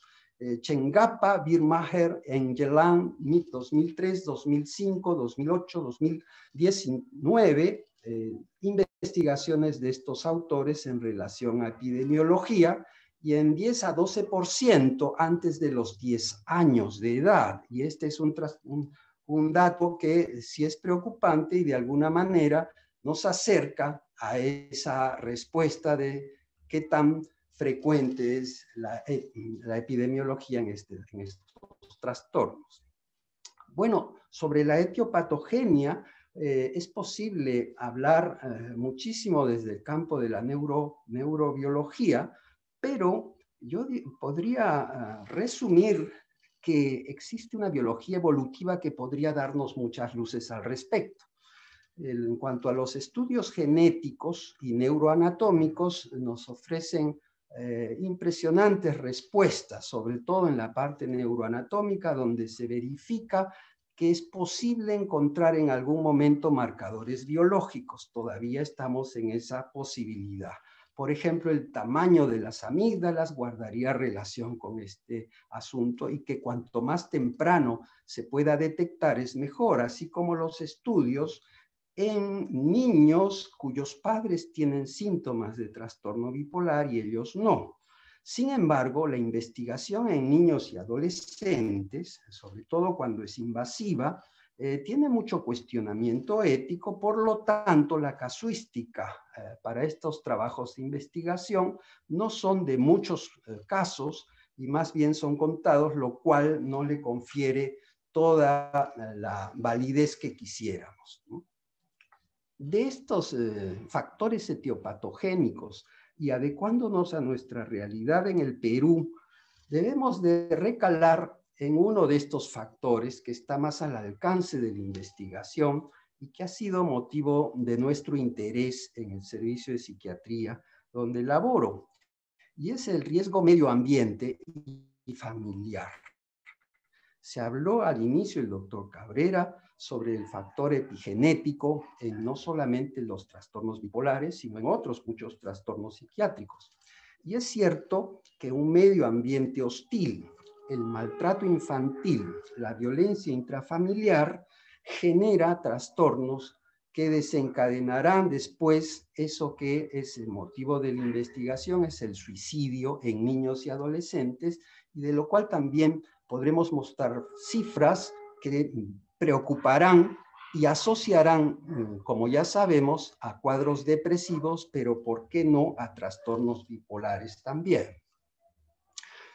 Sobre la clínica, eh, sobre todo en la manía, es posible hacer un trazado de los síntomas con que se presenta un niño o más aún un adolescente con esta sintomatología. Se han hecho estudios para ver cuáles son los síntomas más visibles en esta población y lo que podríamos decir es que no siempre lo que se ve en sociedades por ejemplo, del hemisferio norte, lo vamos a encontrar en nuestra realidad, lo cual nos obliga a buscar nuestra propia sintomatología y ver cómo eh, se expresan los primeros síntomas de un trastorno bipolar en gente joven o en adolescentes.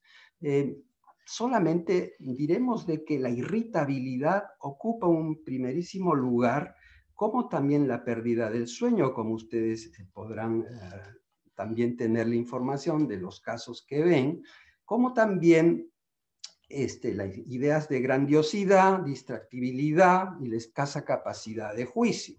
La fuga de ideas también. Sin embargo, en este trabajo de Kowatz se eh, contrasta con lo que nosotros encontramos, donde la casuística tiene algunos matices de diferencia.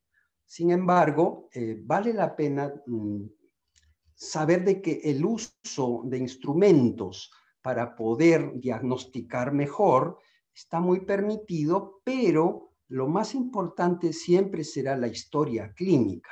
Y la historia clínica, cuanto más elaborada esté, más dinámica esté y, más eh, centrada en la persona, nos eh, resolverá de alguna manera el diagnóstico, porque un mal diagnóstico en trastorno bipolar solamente hace que la historia se cumpla de que demora aproximadamente entre 10 y 12 años hacerse el diagnóstico y eso es imperdonable hoy en día eh, por cuanto todos los médicos psiquiatras ya tenemos la información. Yo diría que más que la dificultad diagnóstica es en qué momento es que hacemos contacto con el paciente. Cuando ya declaró su trastorno bipolar, cuando estén los pródromos o cuando esta versatilidad sintomática está en una fase de hipomanía eh, donde no es notorio y si es una persona joven, entonces pueden fácilmente pasar desapercibido. El diagnóstico diferencial nos es sumamente importante en la psiquiatría del niño y del adolescente por cuanto el TDAH está asociado al trastorno afectivo bipolar en un alto porcentaje, que incluso llega a ser el 80%, con lo cual eh, pone en confrontación al médico tratante en si debe prescribir, si debe tratar el TDAH o debe presuponer que el trastorno bipolar merece una atención. Y allí es donde surge la controversia de lo cual podremos conversar y qué es lo más conveniente, y se contrapone un tratamiento de una comorbilidad con el tratamiento del mismo fondo bipolar. La esquizofrenia, obviamente, también, sobre todo en adolescentes, cuando debutan con el trastorno bipolar, tienen más posibilidad de hacer síntomas psicóticos. Repito, cuanto más joven el paciente, sus síntomas psicóticos en el trastorno bipolar tienen más proclividad de hacerse presente, a diferencia del adulto. En los trastornos de conducta que son tan frecuentes en niños y adolescentes y que no siempre, obviamente, eh, tienen eh, el trastorno bipolar como causa. También la depresión mayor, como veremos, los trastornos depresivos en adolescentes, sobre todo adolescentes mujeres, es muy frecuente y ocupa también un primerísimo lugar, sobre todo eh, asociado a mucha comorbilidad como el trastorno de conducta alimentaria, por ejemplo, y que puede no estar exento de tener un trastorno bipolar de fondo. Los trastornos de ansiedad también serán motivo para tenerlos en cuenta al hacer el diagnóstico diferencial en estas poblaciones. Eh, ni qué decir del trastorno del espectro autista, porque eh, no descalifica un autismo a que tenga o esquizofrenia o que tenga trastorno de, trastorno bipolar, iba a decir trastorno de espectro bipolar, eh, y también el abuso de sustancias. También sabemos de que el consumo de marihuana o el consumo de drogas en gente joven podría desencadenar sintomatología maníaca, hipomaníaca o el trastorno bipolar que ya estaba de fondo y que simplemente lo detona el consumo de drogas. Pero más aún, si el medio ambiente es hostil la presencia de bullying, de maltrato infantil está alrededor de una familia que ya tiene como factor predisponente este trastorno, seguramente va a ser más factible que haga eh, la enfermedad o el trastorno. Por lo tanto, el trabajo del médico eh, no solamente es la atención de los síntomas, en este caso del psiquiatra infantil, sino que es posible hacer la prevención y también la promoción de la salud, de la salud mental, y de esa manera eh, intentar si es posible llegar antes, porque cuando una madre gestante mm, está en atención de alto riesgo obstétrico, las posibilidades de que haya complicaciones en el bebé cuando nace son mayores. Para empezar, el bajo peso al nacer.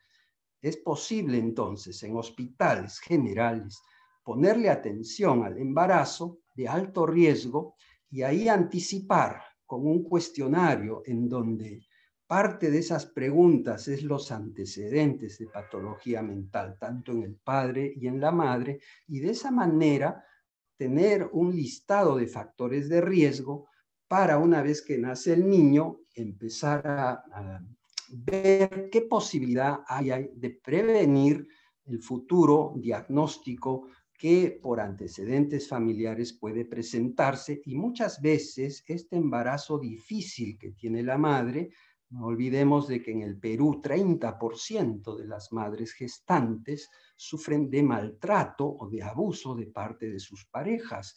Es decir, no solamente es el embarazo de alto riesgo el estresor, sino todo lo que significa el, el entorno de esa madre gestante. Y es allí donde el trastorno bipolar se asocia a las eh, investigaciones que hemos hecho en el embarazo de alto riesgo obstétrico con patología mental futura. Bueno, los trastornos de personalidad, que si bien en los adolescentes la personalidad está en formación, tenemos evidencia de que hay adolescentes de 15, 16, 17 años que ya esbozan trastornos de personalidad y que son visibles y que sabemos que van a continuar con esa sintomatología. El trastorno borderline, por ejemplo, y que muchas veces ha estado incluido en ese espectro bipolar que Aquiscal nos, eh, proponía en algún momento. También hay patología somática, sobre todo en hospitales como el que laboramos, en pediatría, que también pueden dar sintomatología muy parecida a una manía, a una hipomanía o a una psicosis en un adolescente. Ya sabemos enfermedades endocrinológicas, por ejemplo, el hipertiroidismo, el consumo de drogas, la intoxicación por algún medicamento, los antidepresivos, entre ellos, por ejemplo, los tricíclicos que pueden desencadenar una sintomatología hipomaníaca, eh, como también los trastornos neurológicos, como la epilepsia, por ejemplo, o el tumor cerebral, o infecciosas. Dentro de esos no podemos dejar de mencionar el coronavirus, porque también se ha visto que bajo el peso de la infección del coronavirus se han desencadenado síntomas psiquiátricos y dentro de ellos eh, sintomatología hipomaníaca o maníaca en personas que nunca presentaron este eh, diagnóstico antes y que esto ha venido a desencadenar el proceso, ya sea por un proceso inflamatorio, ¿no? una eh, encefalitis viral, o por algunas causas que aún no conocemos que probablemente sean inmunológicas.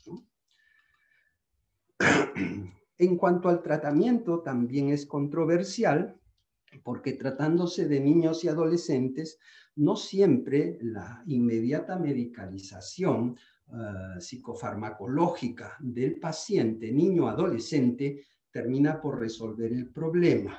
Sin embargo, esta es una decisión que se hace junto con el paciente y sobre todo con la familia.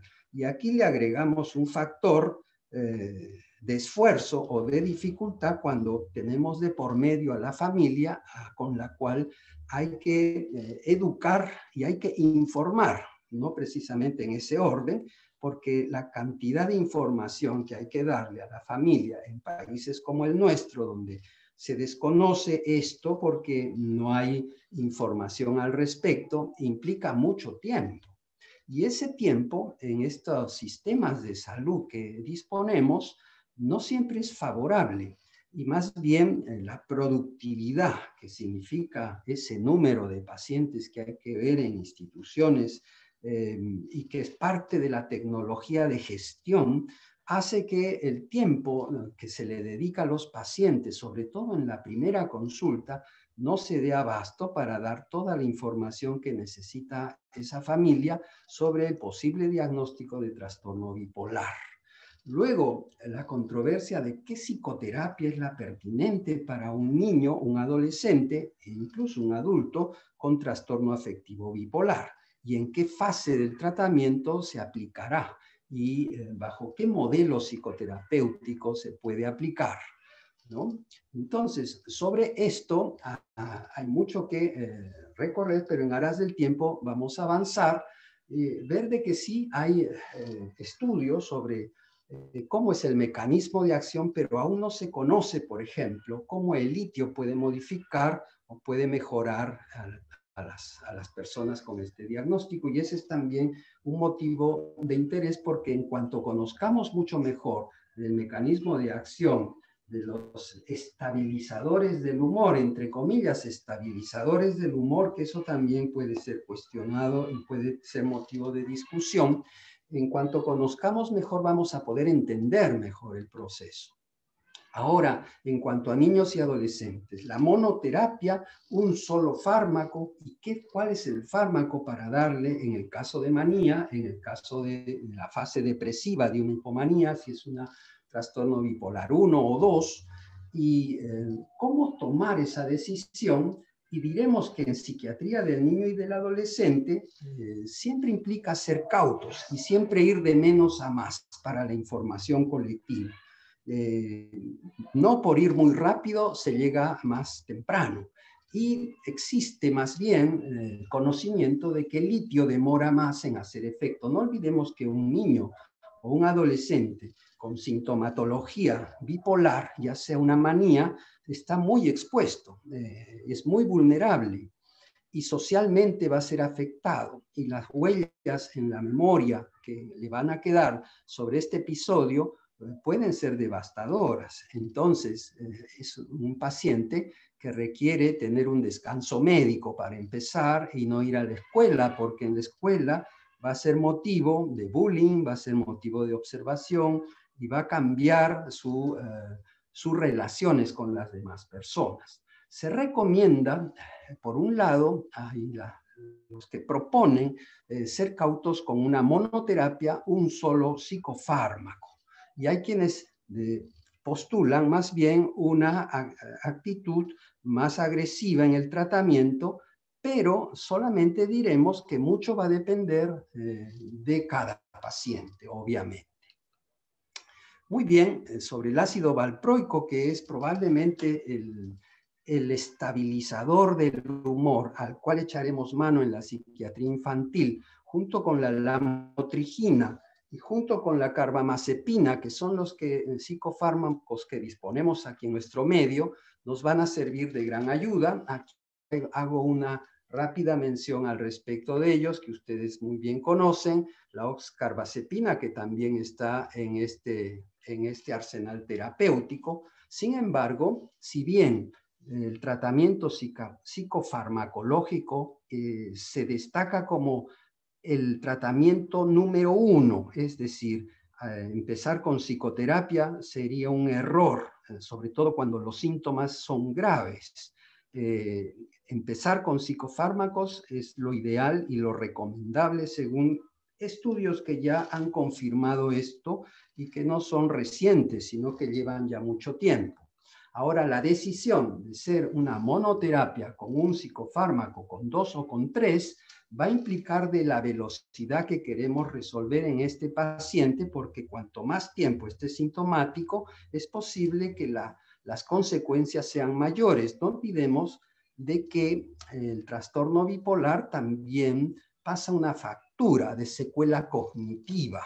En la mayoría de veces es muy reciente y en otros demora más tiempo en esa factura cognitiva de deterioro entonces, la rapidez vendrá por el antipsicótico atípico. No olvidemos de que la, patología bipolar en niños y adolescentes, menos mal que no empieza a demasiada temprana edad, sino que es a partir de los 10 años o en la adolescencia ya 12 años. Eso confiere de que eh, los antipsicóticos atípicos podrían ser nuestra arma terapéutica a echar mano al inicio. Y dentro de ellas la que tiene una aprobación por la FDA, pero también por la experiencia. Y aunque no la tuviera, sabemos de que este psicofármaco tiene menos efectos secundarios, pero no está exento de ellos, pero que nos pueden ayudar a resolver de una manera rápida y es eh, el que se usaría. Eh, recomendaría el aripiprazol, empieza a tener algunos cuestionamientos, es un efecto secundarios y entonces habría que tomarlo en segunda línea.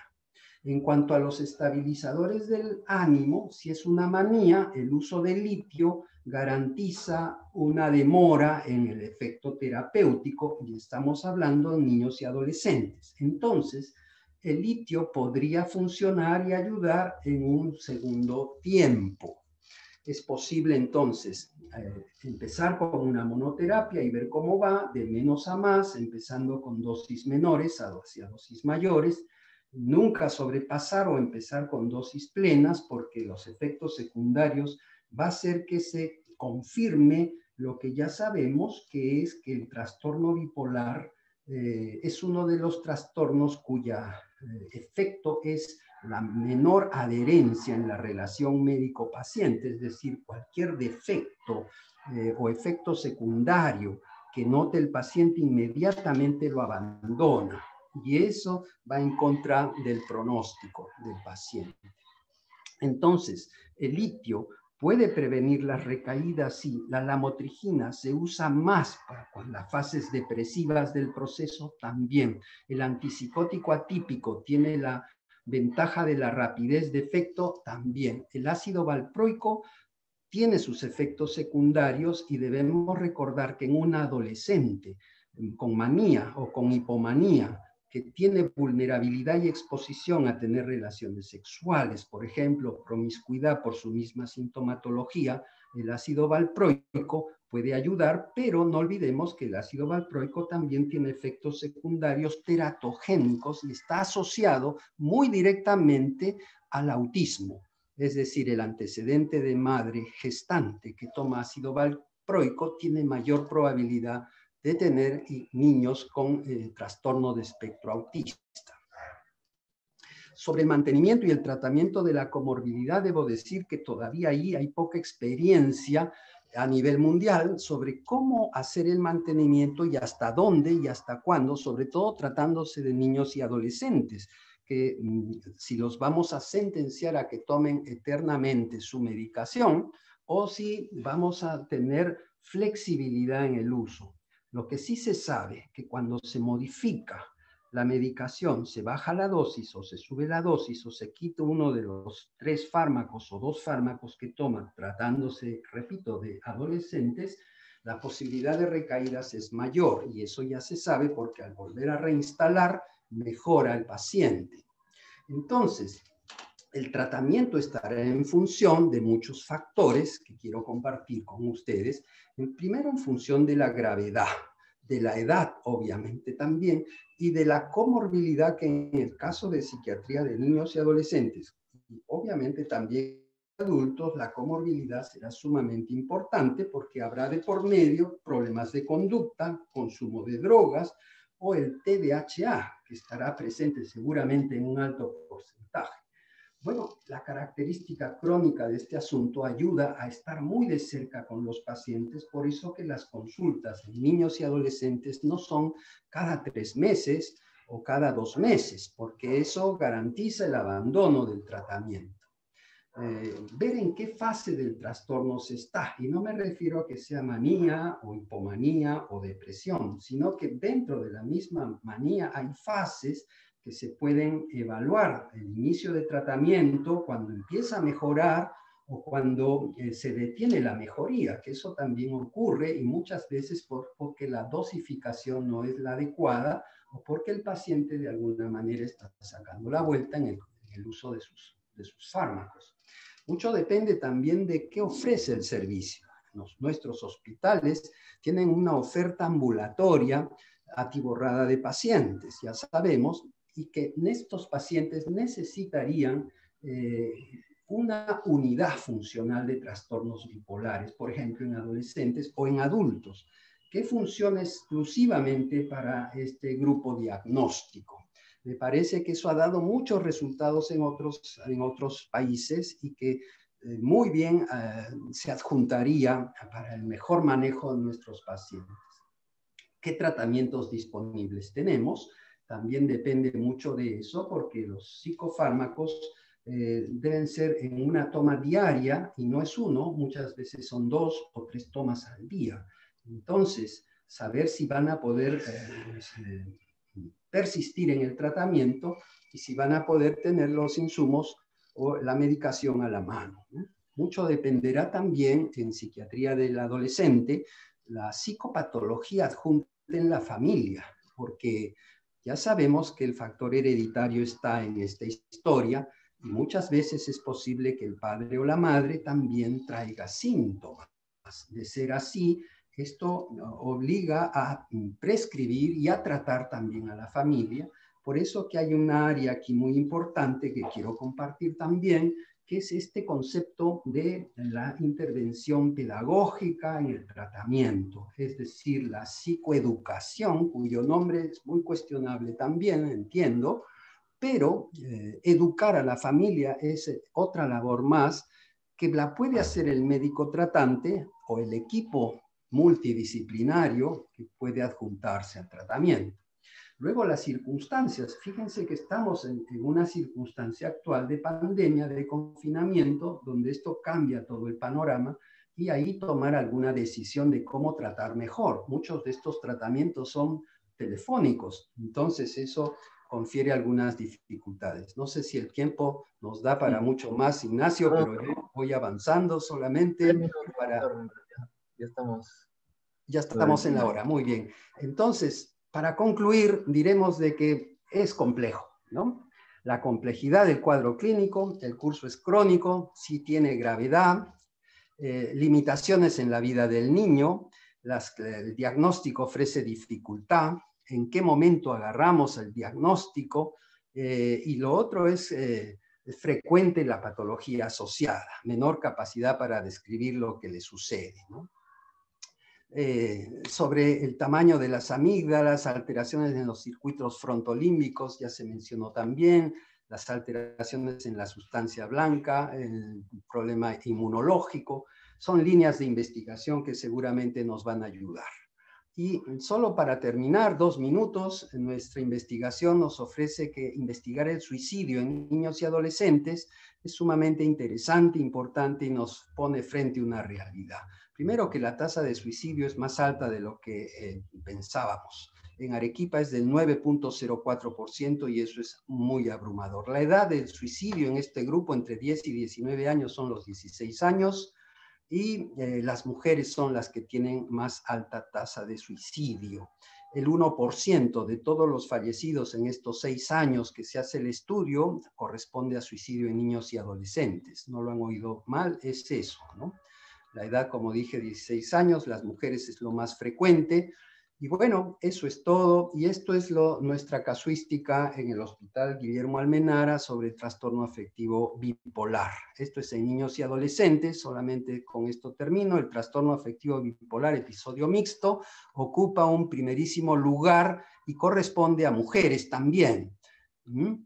Acá repite, y en cuanto al trastorno depresivo, el episodio depresivo moderado, en todo el, departamento de psiquiatría eh, ocupan las mujeres también el primer diagnóstico. Acá tienen mujeres y hombres, fíjense la diferencia eh, que hay en trastornos afectivos y acá está el F32.1.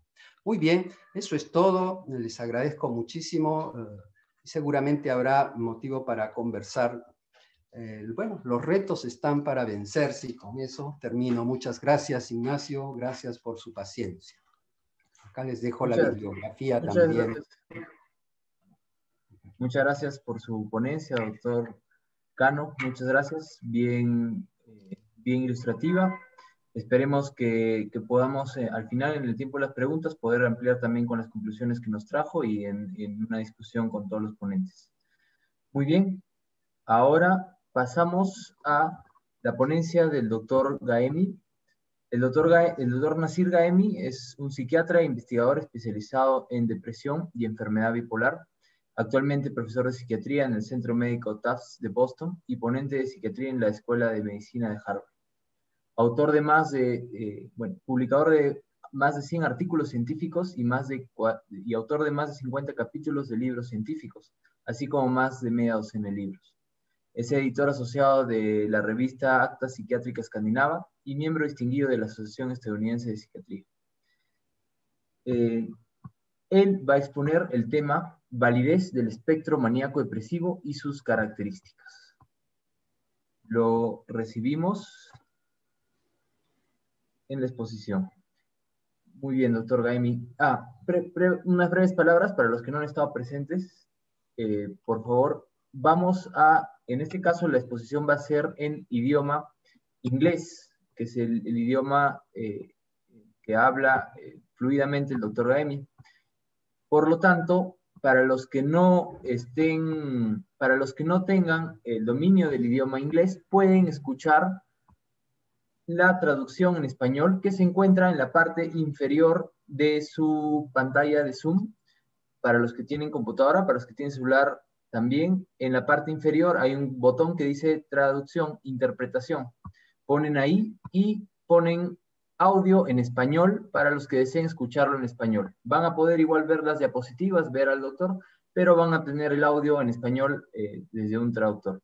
Entonces pueden hacer eso si es que gustan si es que no, no hay ningún problema, pueden escuchar en español, en inglés, las diapositivas van a estar en español. Muy bien, muchas gracias. Entonces, damos paso a la siguiente ponencia. Muchas gracias, doctor Gaemi, por, por acompañarnos en esta oportunidad. Le doy la, la palabra. Y bueno, subiré las diapositivas también.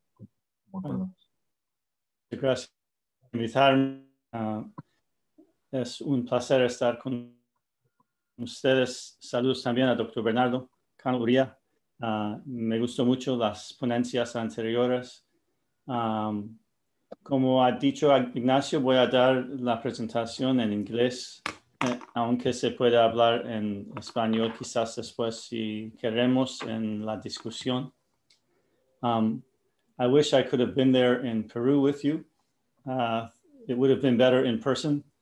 Um, but this is uh, at least we can at least you can hear my presentation this way and uh, maybe we can have some uh, discussion ignacio are you going to control the the slides yourself uh, yes yes i think i have to i think i have to you're going to control the slides okay so yeah. i'll tell you to move forward okay right. um, as ignacio said the uh, topic is the bipolar spectrum uh, which is a, a, a term that I used to use a lot. Um, but I actually prefer the term manic depressive illness uh, rather than bipolar spectrum or bipolarity for reasons I will explain. Uh, let's go to the next slide. Um, and my disclosure is that I do research at Novartis Institutes of Biomedical Research now, in addition to my university work here in Cambridge, Massachusetts. Uh, so the views I'm expressing here are just my own. Next slide. Here are some sources for you on some of the DSM discussion that we'll discuss, including my new textbook of psychopharmacology, which describes a lot of my clinical views here, and my clinical website, uh, which you may find useful. Next slide. Now, the first point to make when discussing the concept of a spectrum, uh, manic depressive or bipolar illness, is the historical point that you've heard before uh, earlier today from Dr. Stuckey, uh, that is that the concept of manic depressive illness is much broader than the concept of bipolar illness. They are not the same thing. Manic depressive illness meant the presence of manic or depressive episodes, not manic and depressive episodes. Bipolar illness means manic and depressive episodes, but manic depressive illness includes both bipolar illness and unipolar depression, simply recurrent depressive episodes. The key point was that there are severe manic, uh, severe mood episodes of either variety in manic depressive episode, manic depressive illness. They were episodes, they were severe, and they were recurrent. And that's what differentiated it from neurotic depression, which was just mild chronic depression with anxiety. It was not severe, it was not episodic. And it also distinguished it, as you heard earlier, from involutional melancholia, which was chronic and severe. So, what DSM 3 did in 1980 was to combine these various forms of uh, depression into this phrase major depressive disorder, which is therefore a very broad concept in contrast to bipolar disorder, which is very narrow. And again, manic depressive illness was even broader because it included both bipolar and unipolar depression. So the term bipolar spectrum, in my view, is not a good term for the same reason that major depression is not a good term. Major depressive disorder is a meaningless phrase, as we'll discuss, combining many different kinds of depressive states. And if we're going to drop the concept of major depressive disorder or change it, then we can't really use the concept of bipolar illness the same way. In other words, to use the phrase bipolar spectrum is to accept this DSM distinction between bipolar illness and unipolar depression uh, whereas really, by trying to broaden the bipolar concept, we are rejecting the DSM distinction between bipolar illness and unipolar depression, which in a way takes us back to the traditional Kraepelinian concept of manic depressive illness. Next slide. Now, the distinction between bipolar and unipolar depression, as was described earlier with DSM-3, was based on two studies that claimed that they had different genetics and different course of illness the four uh, diagnostic markers for validity of a diagnosis are symptoms or phenomenology, genetics, course of illness, and treatment effects. Now, um, this massive dis change in 1980 was based on two studies. We now have 40 years and many more studies that disprove that evidence. For instance, you can look at the major genetic research these days the genome-wide association scans that clearly show that there is not a distinction between so-called major depressive disorder and bipolar illness. Instead, there's lots of overlap. So that contradicts this whole DSM-3 distinction. Furthermore, if you look at the course of illness, we had an excellent presentation from uh, Dr. Cano that showed us that you can go back 200 years and find evidence of uh, an onset of bipolar illness in children. Um, and the distinction was that unipolar depression was supposed to happen later. According to the genetic, to the core studies from the 70s, bipolar illness began in childhood and into early adolescence, and average age of onset was 19. Unipolar depression began in the 20s. Average age of onset was almost 30.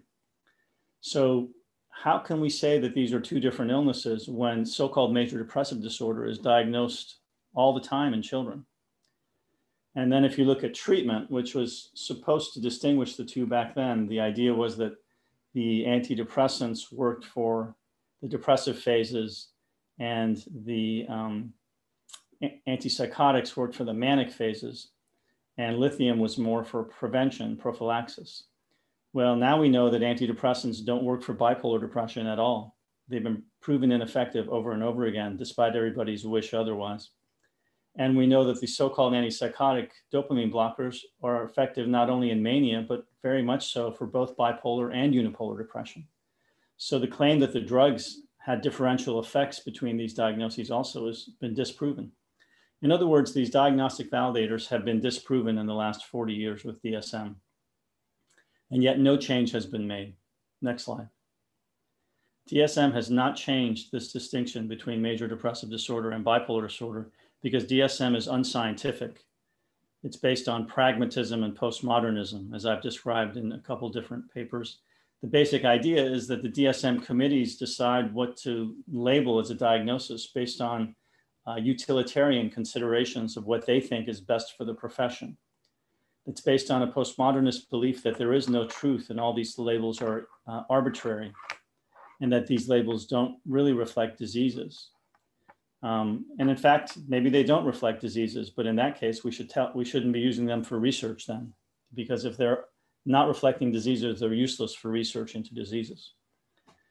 DSM has not changed the distinction between major depression and bipolar disorder since 1980, despite 40 years of research, which argues against that distinction and at least argues for some notable changes in how they're defined. Um, and the distinction made in 1980 was based on very limited research, which has now been disproven. This shows you that DSM is not based on scientific evidence as its primary basis. And that's part of the reason why DSM criteria have failed scientific research in genetics and neuroimaging for 40 years and are now rejected by the National Institute of Mental Health. Well, if DSM definitions are unscientific and rejected for research, why are we using them for practice?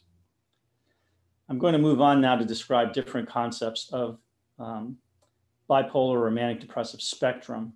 And uh, the basic idea behind all this, as I'm going to end up, is trying to show you with some clinical evidence how this concept of a manic depressive spectrum makes more sense than this false DSM bipolar or major depressive disorder distinction. Next slide. Um, I hope the translation is going okay. If there's a problem, let me know.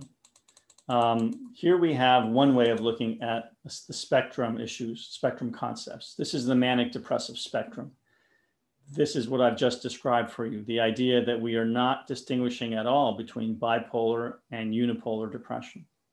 And furthermore, one reason we that Kraepelin did not make this distinction between uh, unipolar and bipolar concepts was because most patients do not have depressive episodes or manic episodes. They have mixed episodes. And the mixed episode is the most common type of mood episode. Therefore, you really can't tell if a patient is depressed or manic. Usually they're both. And that's why making the diagnosis based on polarity or the phase of the illness is invalid. Furthermore, besides the mixed states and the manic and depressive states, which is a minority in most cases being mixed, you have temperaments, which we'll also discuss. This is the full spectrum from mild temperaments to mood episodes, which are mostly mixed, to cycles, which can be either unipolar or bipolar, but it's all one illness.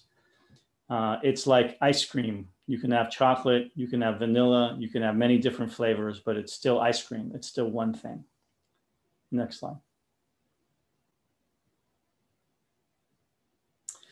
Now, that's Kraepelin's original view, the manic depressive spectrum. Now, after DSM 3 came along and divided bipolar and so called major depressive disorder, Haga Pekiskel, who had um, participated in that process, uh, rather quickly, within a few years, um, realized that the bipolar definition was much too narrow. And he proposed type 1 and type 2 and further subtyping, as you can see.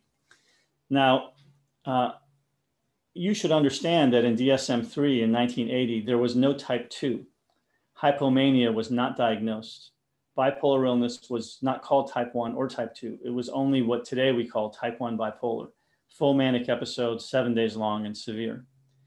DSM-4 in 1994 added type 2, which should have been there from the beginning, but uh, that was partly under the influence of Akiskel's work and others.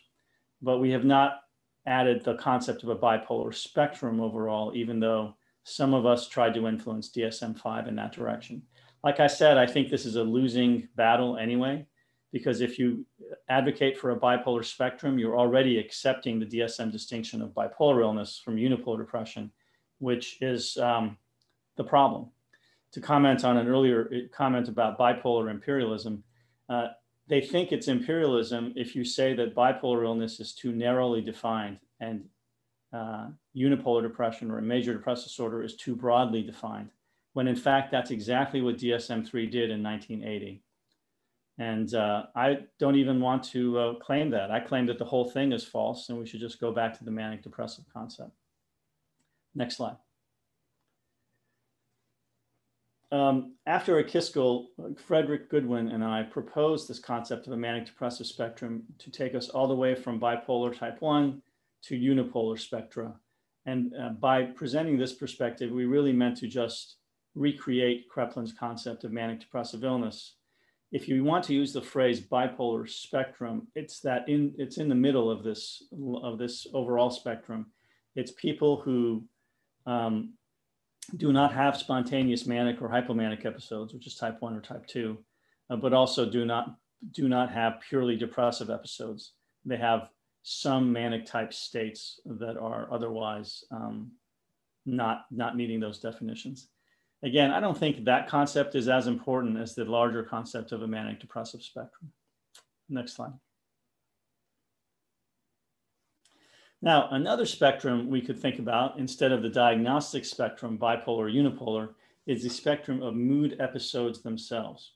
And uh, this is uh, a way of thinking about it that is important. So on the right-hand side, you have pure mania. On the left-hand side, you have pure depression. And in the middle, you have mixed states. You can have mixed states, which are mostly depression with some manic symptoms like agitated depression, mixed states, which are mostly mania with some depressive symptoms, which is dysphoric mania, or the ones that are equal for both in the middle. Now, there is research as cited here which shows that the majority of mood episodes for both bipolar and unipolar depression are mixed states. They are not pure depression nor pure mania. And this is a major reason to um, reject the bipolar unipolar distinction in DSM and to support Kreplin's perspective. Not only can you not distinguish bipolar illness and, and so called major depressive disorder based on genetics and course of illness, as we've talked about. You can't even distinguish it based on phenomenology. The mixed states are the most common. Next slide. So besides a spectrum of mood episodes, we can discuss a spectrum of major depression or major the depressive disorder. The um, people often criticize the concept of a bipolar spectrum, but I, I wonder why they never criticize this very broad concept of so-called major depression. This is a spectrum in itself. It's very broad, ranging from, on one end, severe melancholic depression or melancholic depression, which is characterized by severe symptoms, psychomotor retardation, that's very severe, and severe anhedonia, and it's episodic. And then next to that, you have mixed states, which are also episodic and severe, but have manic symptoms and psychomotor agitation, as we'll talk about, instead of retardation. And on the other side, you have neurotic depression, which is mild and not episodic at all. Vascular depression, which tends to be more chronic and somewhat less severe for. And those subtypes of depression, you might be left with a kind of pure vanilla depression, which is itself a subtype of the, this very broad spectrum of, of uh, so-called major depressive disorder.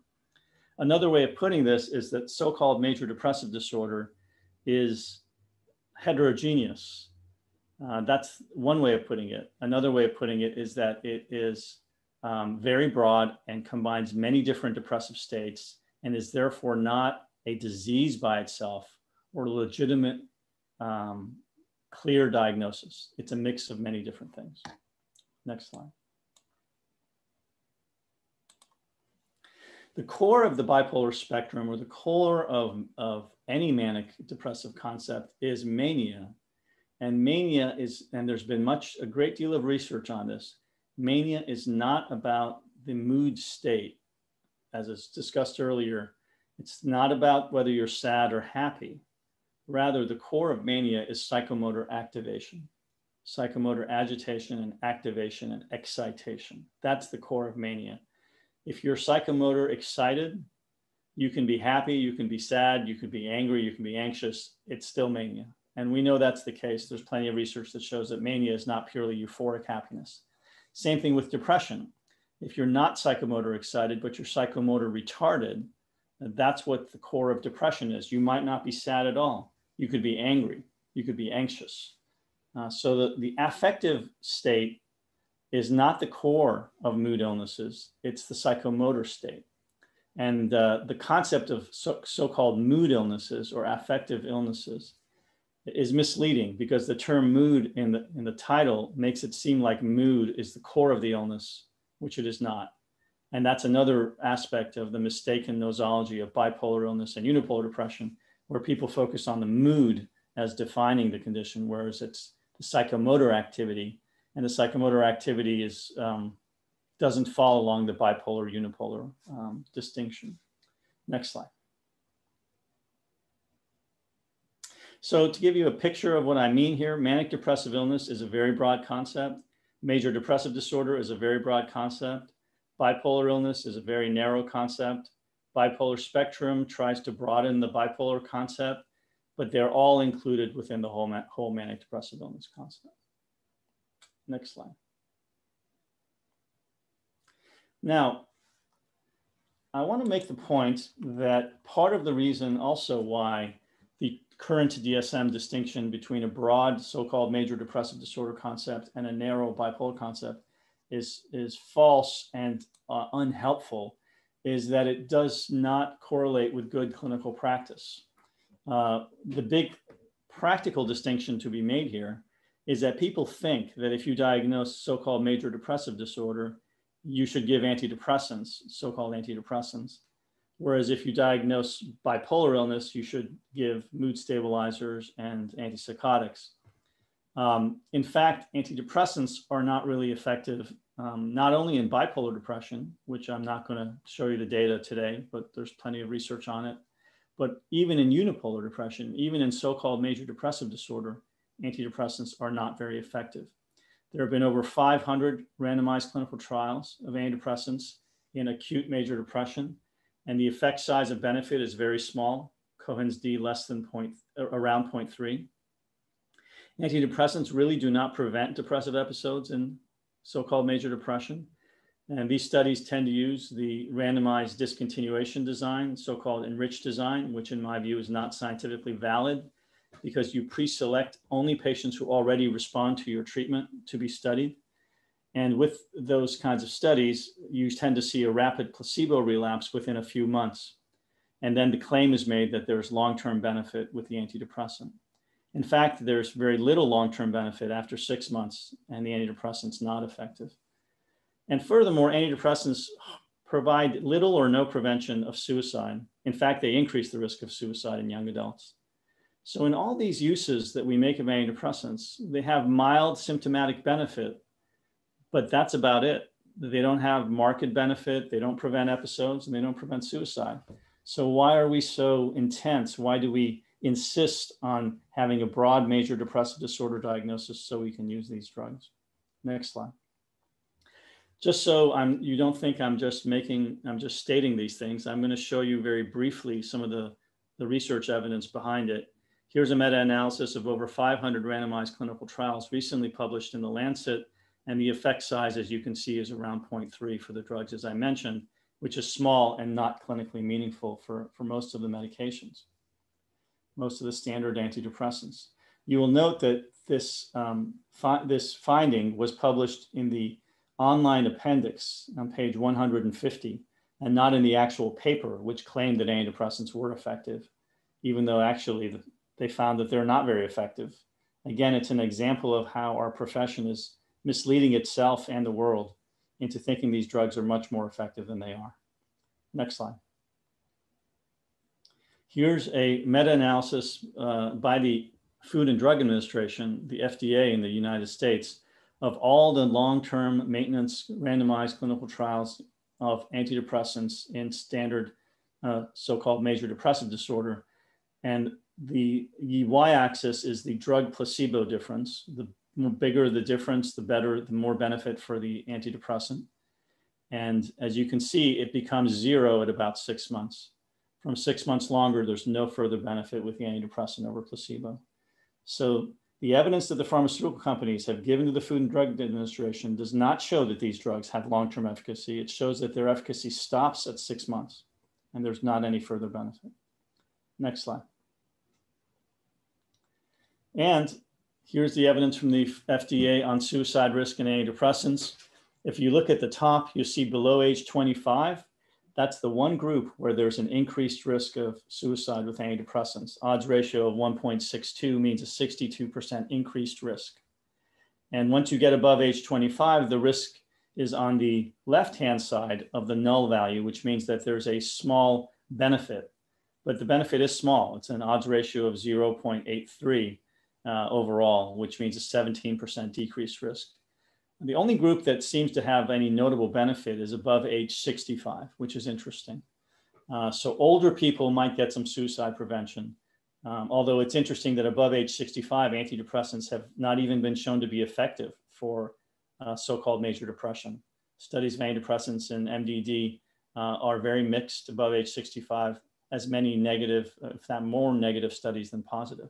So we don't even know they're effective. Um, but in young adults, low age of 25, and in children and adolescents, they increase the suicidality. There's more suicide attempts and there's more suicide ideation.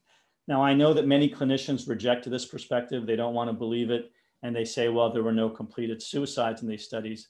Well, that's because these are randomized clinical trials that last eight weeks. You don't tend to have lots of suicides in those kinds of studies. But the increased suicide attempt is of concern because 10% of people who make suicide attempts eventually kill themselves. So there is an increased suicide risk here. And it's because these are randomized trials, it's also more meaningful than the epidemiological studies people often cite, which have confounding effects and confounding bias, meaning there's lots of other factors that influence the result. Randomized trials are believable because the confounding effects are reduced or removed, and therefore you can make more of a causal inference. So this is some of the research behind my claims that the antidepressants have mild symptomatic benefit acutely, but do not have any other benefits of any significance, especially in terms of long-term disease modification or prevention of mood episodes or suicide prevention. Next slide. In contrast, lithium has, is the only drug in psychiatry proven to actually prevent completed suicide and it has very strong and clear benefit, not just for acute symptoms of both depression and mania, but for long-term prevention of depression and mania, which is a disease modifying effect. It's not just a symptomatic drug like aspirin for a headache. That's what antidepressants are. It's a disease modifying drug for actually improving the disease itself, which means both bipolar illness and unipolar depression, so-called manic depressive illness. Uh, that's like penicillin as opposed to aspirin. Next slide.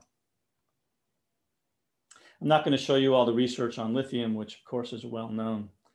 Um, now I'm going to shift the discussion to um, mixed states because I think there's two aspects of the manic depressive spectrum I'm going to concentrate on for the rest of this talk.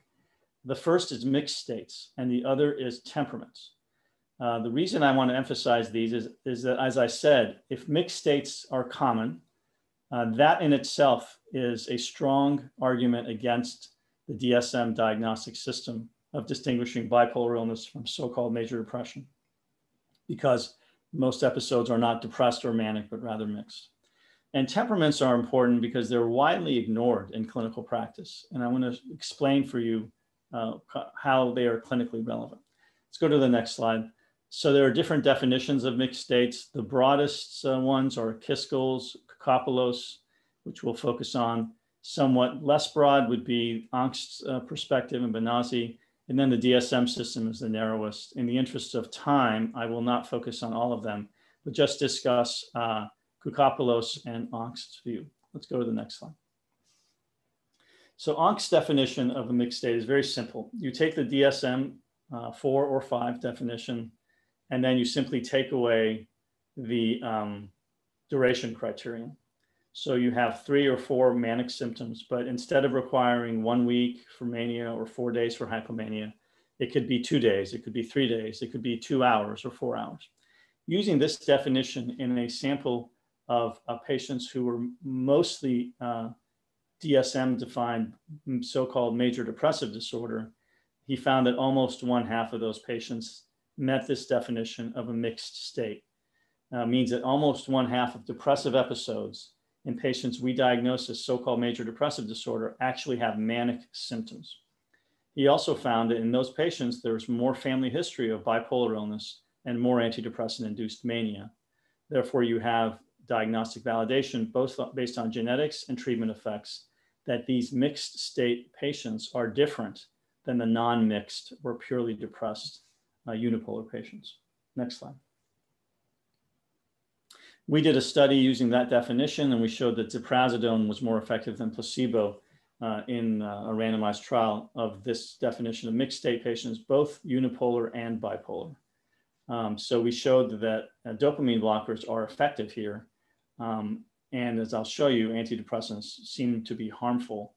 Um, this has been followed up by a study of lurasidone as well, which found a similar effect there was no FDA approval, and therefore many clinicians do not really know that we have randomized data of efficacy of dopamine blockers in these mixed depressive states. Next slide.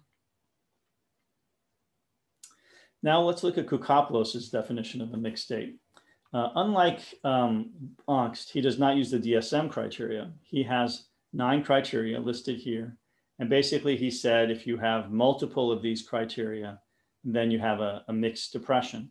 And the core criterion is the psychomotor excitation.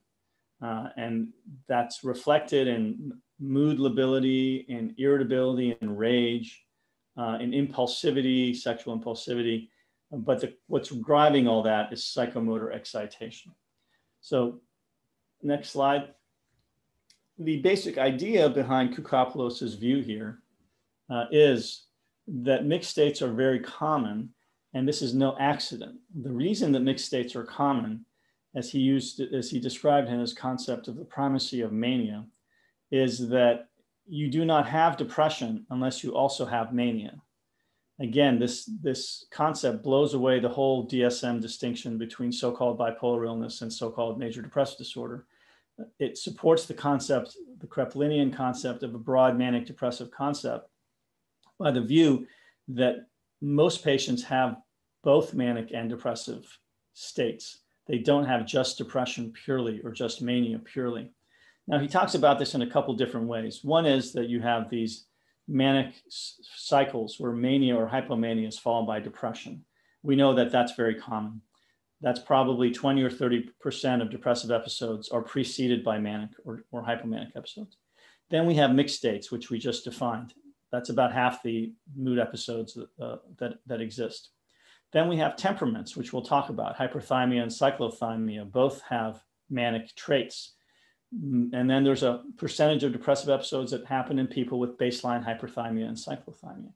So when you add up all these presentations, Koukopoulos' claim was that it is really um, rather uncommon to see depression without either a manic or hypomanic episode before it, or a mixed state, or manic temperaments.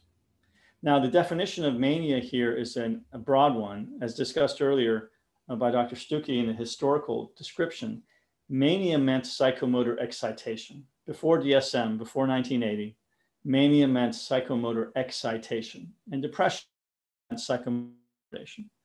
Melancholia, psychomotor retardation.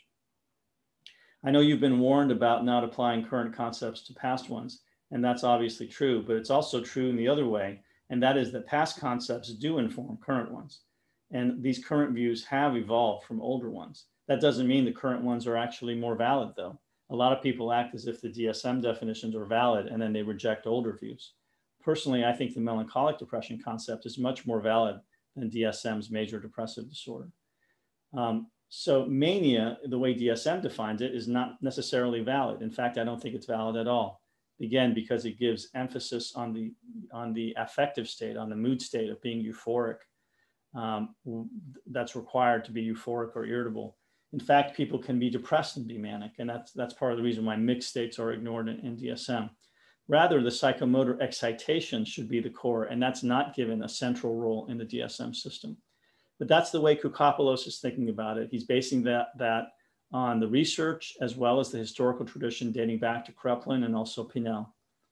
And mania is psychomotor excitation. It's not euphoric mood. It's not DSM concepts. So when he says mania precedes depression or there's no depression without mania, he doesn't mean DSM defined manic episodes. He means psychomotor excitation. Next slide. So applying uh, concepts to his practice, um, after he passed away, we looked at his, his private practice in Rome. We published this a few years ago. And uh, you can see here some of the basic statistics. What you'll note is that the majority of his patients, and he treated patients who were defined by DSM as bipolar in about half the cases and as non-bipolar so-called uh, major depression in the other half. Uh, but about two thirds of them, as you note, had hyperthymic temperament. If they got antidepressants, about half of them had mixed states caused by the antidepressants. And in those patients, two, they had two and a half times more suicide attempts. So this is some of the evidence, not randomized because people don't study mixed states much, but observational evidence that antidepressants are not helpful in mixed states and can actually make patients more suicidal. I think the evidence that antidepressants cause suicidality often reflects antidepressants causing or worsening mixed depressive states. Next slide. So when he when Koukopoulos treated these patients, he was able to treat 97% of them without any standard so-called antidepressants. Instead, they got mood stabilizers, dopamine blockers, or uh, TEC, ECT. And his Hamilton Depression Rating Scale scores decreased markedly from severe depression to mild, 28 to 8. Half the patients were completely cured and had no further episodes at all. And this was with over one year of follow up. So he showed that you can treat unipolar and bipolar patients without giving antidepressants to almost anyone, and you can make half of them completely uh, improved. And this is because mixed states imp- respond well to mood stabilizers and dopamine blockers, but actually worsen or don't respond at all to standard antidepressants. And mixed states are so common. Next slide. Now, the last concept here is mood temperaments, affective temperaments. Dysthymia, cyclothymia, hyperthymia, it was described earlier. Uh, they are biologically and genetically related to the manic depressive spectrum. These are essentially mild versions of mania and depression. When you talk about creativity, uh, these are the patients who are creative, the ones who have mild uh, traits. Now, sometimes family members will have um, just the mood symptoms. Sometimes they have mood episodes and the symptoms. I'm going to show you the TEMPS scale, which is a, a useful scale to assess this in a minute. Next slide. Temperaments are constant, not episodic. now, when the family members sometimes just have the temperaments, they may not have any other episodes, and usually those persons do not get clinical treatment. Often they are very creative, successful people, as I've, I've also written about that in, in a book about political and military leaders. Many of them have these mood temperaments. Some of them have full blown bipolar illness uh, or unipolar depression, but they often have the mood temperaments as well. These mood temperaments is the baseline personality of patients with mood episodes. So patients might have recurrent depressive episodes, but their baseline personality could be manic all the time. That means they have hyperthymia. And yet that's not bipolar illness and they're not diagnosed with bipolar illness and it's fine, but it is manic depressive illness. Sometimes patients will um, have hyperthymia or cyclothymia for 40, 50, or 60 years before they have their first depressive or manic episode. So we frequently see patients at age 60 with a first depression or 50 with a first mania, and we say, oh, that's odd. And neurological and medical workup is normal. But often they've had hyperthymia or cyclothymia for their entire life before that. So the real onset of the mood illness is not age 50 or 60 in those patients, but rather it's age 10 or age 5 when their cyclothymia and hyperthymia began. If you have these manic temperaments, especially cyclothymia and hyperthymia, you're at increased risk of getting manic on antidepressants. That's, that's pretty well proven now. Next slide. The TEMP scale has been developed by Kiskell and colleagues to assess these mood temperaments. It's really a wonderful scale. I'm just showing you a picture of it. You can download it from our website. What it's what we've done there is we've converted the scale to easy use. It's a self-report by patients. 50 items is, is the one we use. They fill it out for a, quickly in a few minutes. I have them fill it out. I have all my patients fill this out before my first appointment. Next slide. There's a scoring guide as well on the website. And once you score it, you can list how many of the items for each temperament they meet. Um, and I don't use the irritable temperament much, but the dysthymic, cyclothymic, hyperthymic are useful. We've done some research uh, that has shown that a 75% threshold uh, of, of items is very likely to have that temperament. Sometimes 50% or more may also be, be relevant. I've seen patients who have 100% of the items, and that's when the temperaments clearly are useful. Next slide. This is some of the research I did with my friend Paul Voringer, uh, who you may know from the University of Chile, uh, where we took the temps and, and, applied it in our clinic at Tufts.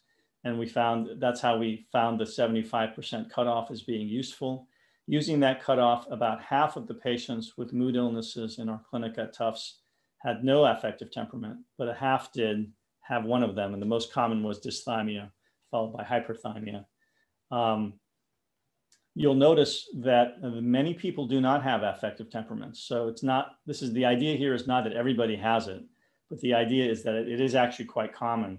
The other half who have it uh, are often, are generally not diagnosed with it.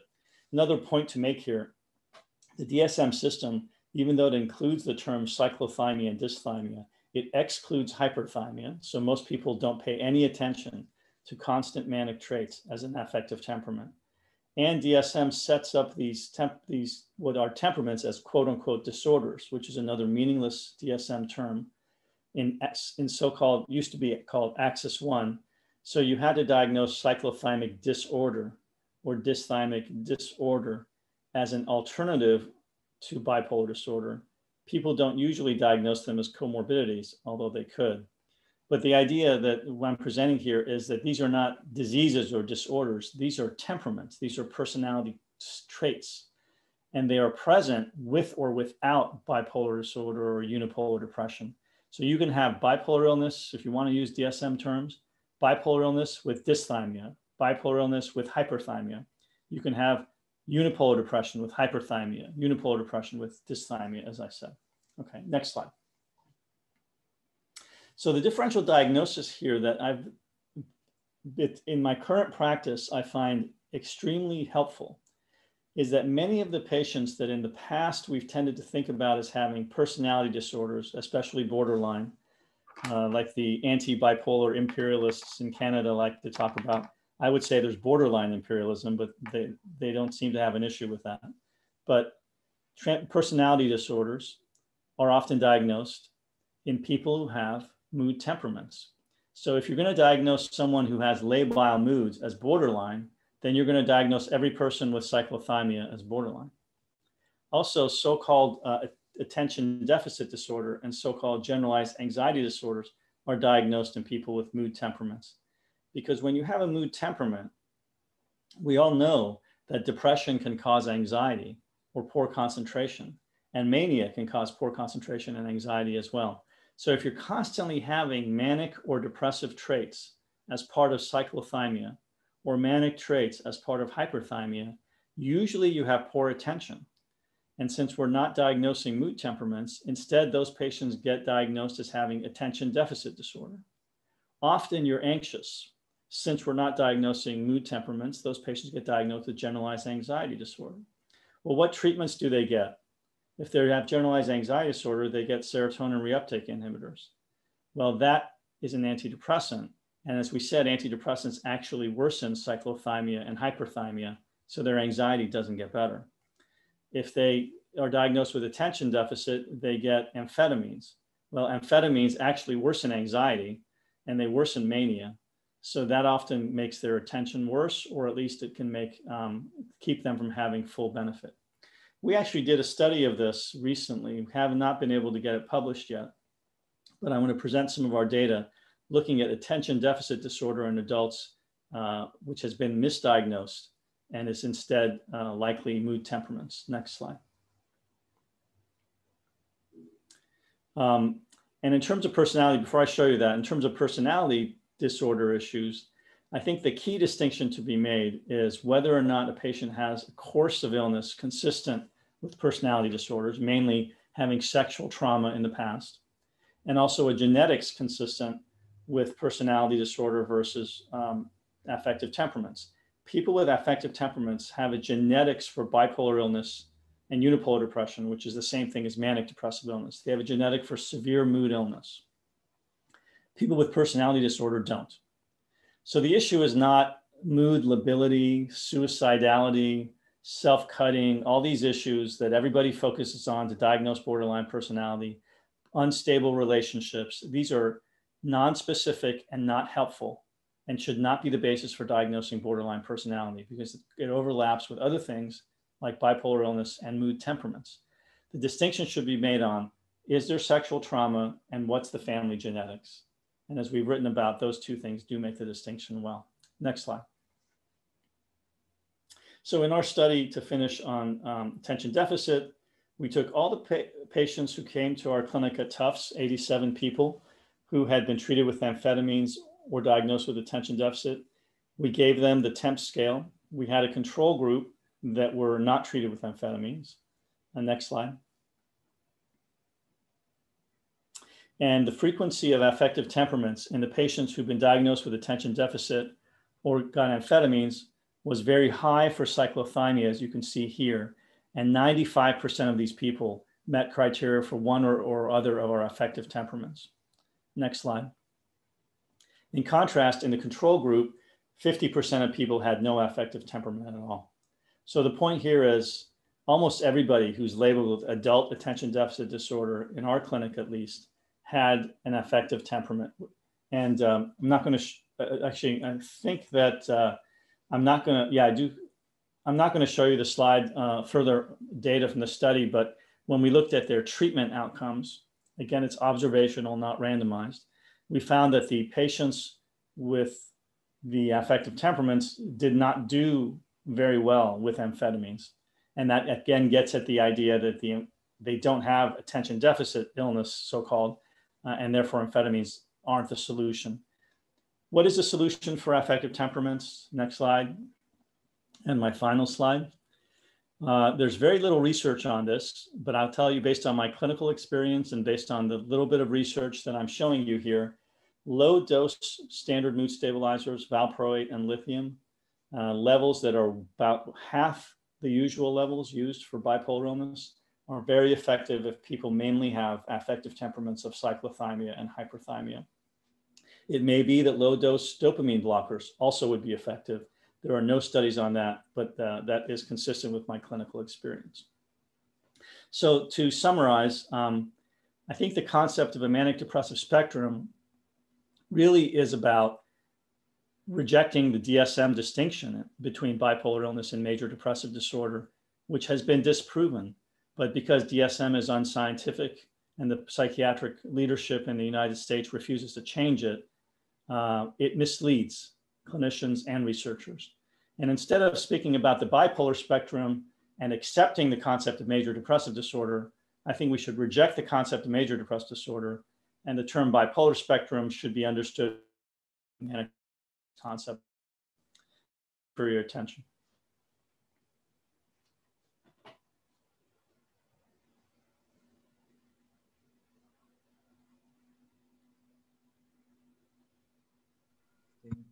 Thank you very much, Dr. Lenny. Very interesting, your lecture. Thank you very much. Um, so now we'll have, oh, excuse me. bueno, muchas gracias, doctor Gaimi, por su, por su presentación. Eh, vamos a, bueno, primero que nada agradezco a usted por, por tomarse la molestia de acompañarnos desde Boston en esta presentación. También agradezco mucho la presencia y, la participación también de los ponentes, el doctor Bernardo Cano, el doctor Santiago Stupi y el doctor Donald Cabrera. Agradezco mucho a todos los participantes de este evento. Vamos ahora a pasar en los minutos que nos quedan a una de las partes más interesantes, que es eh, la resolución de las interrogantes que han podido estar teniendo. Bueno, se han recibido varias interrogantes. Voy a poner algunas para que al público para que alguno de los ponentes pueda ilustrarnos y si es que hay alguien, algún otro de los ponentes que de repente tenga otra opinión, por favor, eh, eh, siéntanse libres de poder expresarla. La idea acá es eh, expresar libremente sin, de una forma a discutir, ¿no? sin, sin necesidad de llegar a más. Muy bien, vamos a ver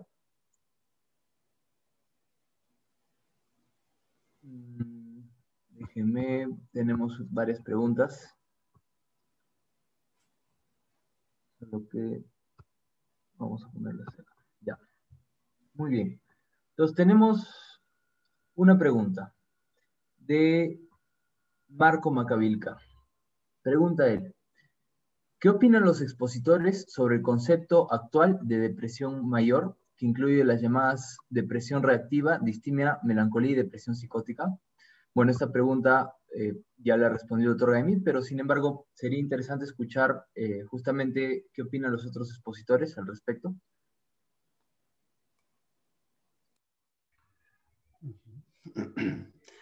Eh, y, doctor Ignacio, sí, ¿puedo opinar? Lo escuchamos, doctor. Tan. Gracias. Muy bien. Bueno, primero felicitar al doctor Gaemi eh, muchas gracias, doctor Gaemi, por su brillante exposición. Es muy ilustrativa y nos ayuda a centrar un poco más en las diversas controversias que ofrece este trastorno, el trastorno bipolar maníaco depresivo. Em, yo estoy muy de acuerdo en que hay controversia sobre el intento de clasificar la sintomatología que se presenta en un trastorno que tiene eh, muchas formas de presentarse y que no es el único trastorno mental que tiene estas características, eh, recordando mm, sin hacer comparación, pero eh, bajo estos nuevos conceptos el espectro autista, por ejemplo, eh, la gran diversidad de sintomatología que hay. Por lo tanto, también la depresión mayor, como también el trastorno bipolar 1, trastorno bipolar 2, siempre ha ofrecido, y digo desde que aparecen en las clasificaciones, siempre han ofrecido algunas dificultades que no siempre han resuelto o ayudado a diagnosticar mejor. Por lo tanto, el camino todavía falta por recorrer en cuanto a los semiólogos observadores, investigadores. Y esa es una tarea para todos que nos hace eh, necesario tipificar mejor para poder tratar mejor. Y una forma de hacerlo es, la única es la investigación en el campo clínico. Eh, hemos encontrado de que los grupos etarios por mi experiencia en niños y adolescentes, eh, ofrece algunos matices que pueden ayudar a conflictuar un poco más estos intentos de definición, porque eh, hablar de depresión mayor en un niño muy pequeño, por ejemplo, de cuatro años de edad, resulta un esfuerzo eh, grande de acomodar la sintomatología a estas clasificaciones que lo que pueden hacer es eh, esquematizar con alguna finalidad mm, basada quizás en la codificación más que en el beneficio terapéutico que se pueda hacer. Creo, mm, y esto lo pongo a consideración, que una manera de resolver estas controversias eh, en las clasificaciones que no han terminado y que seguirán habiendo, es centrar la atención no en el diagnóstico, ni tampoco en los síntomas, mucho menos en el tratamiento. Mejor es que centremos la atención en la persona y ahí vamos a encontrar de alguna manera una resolución mejor eh, creo que a través de ese centrados en la persona del paciente, vamos a poder ayudarlo mejor y tomar solo como referencia estas clasificaciones que nos ayudan a informatizar y a codificar y quién sabe a ayudar o no ayudar a las gestiones sanitarias.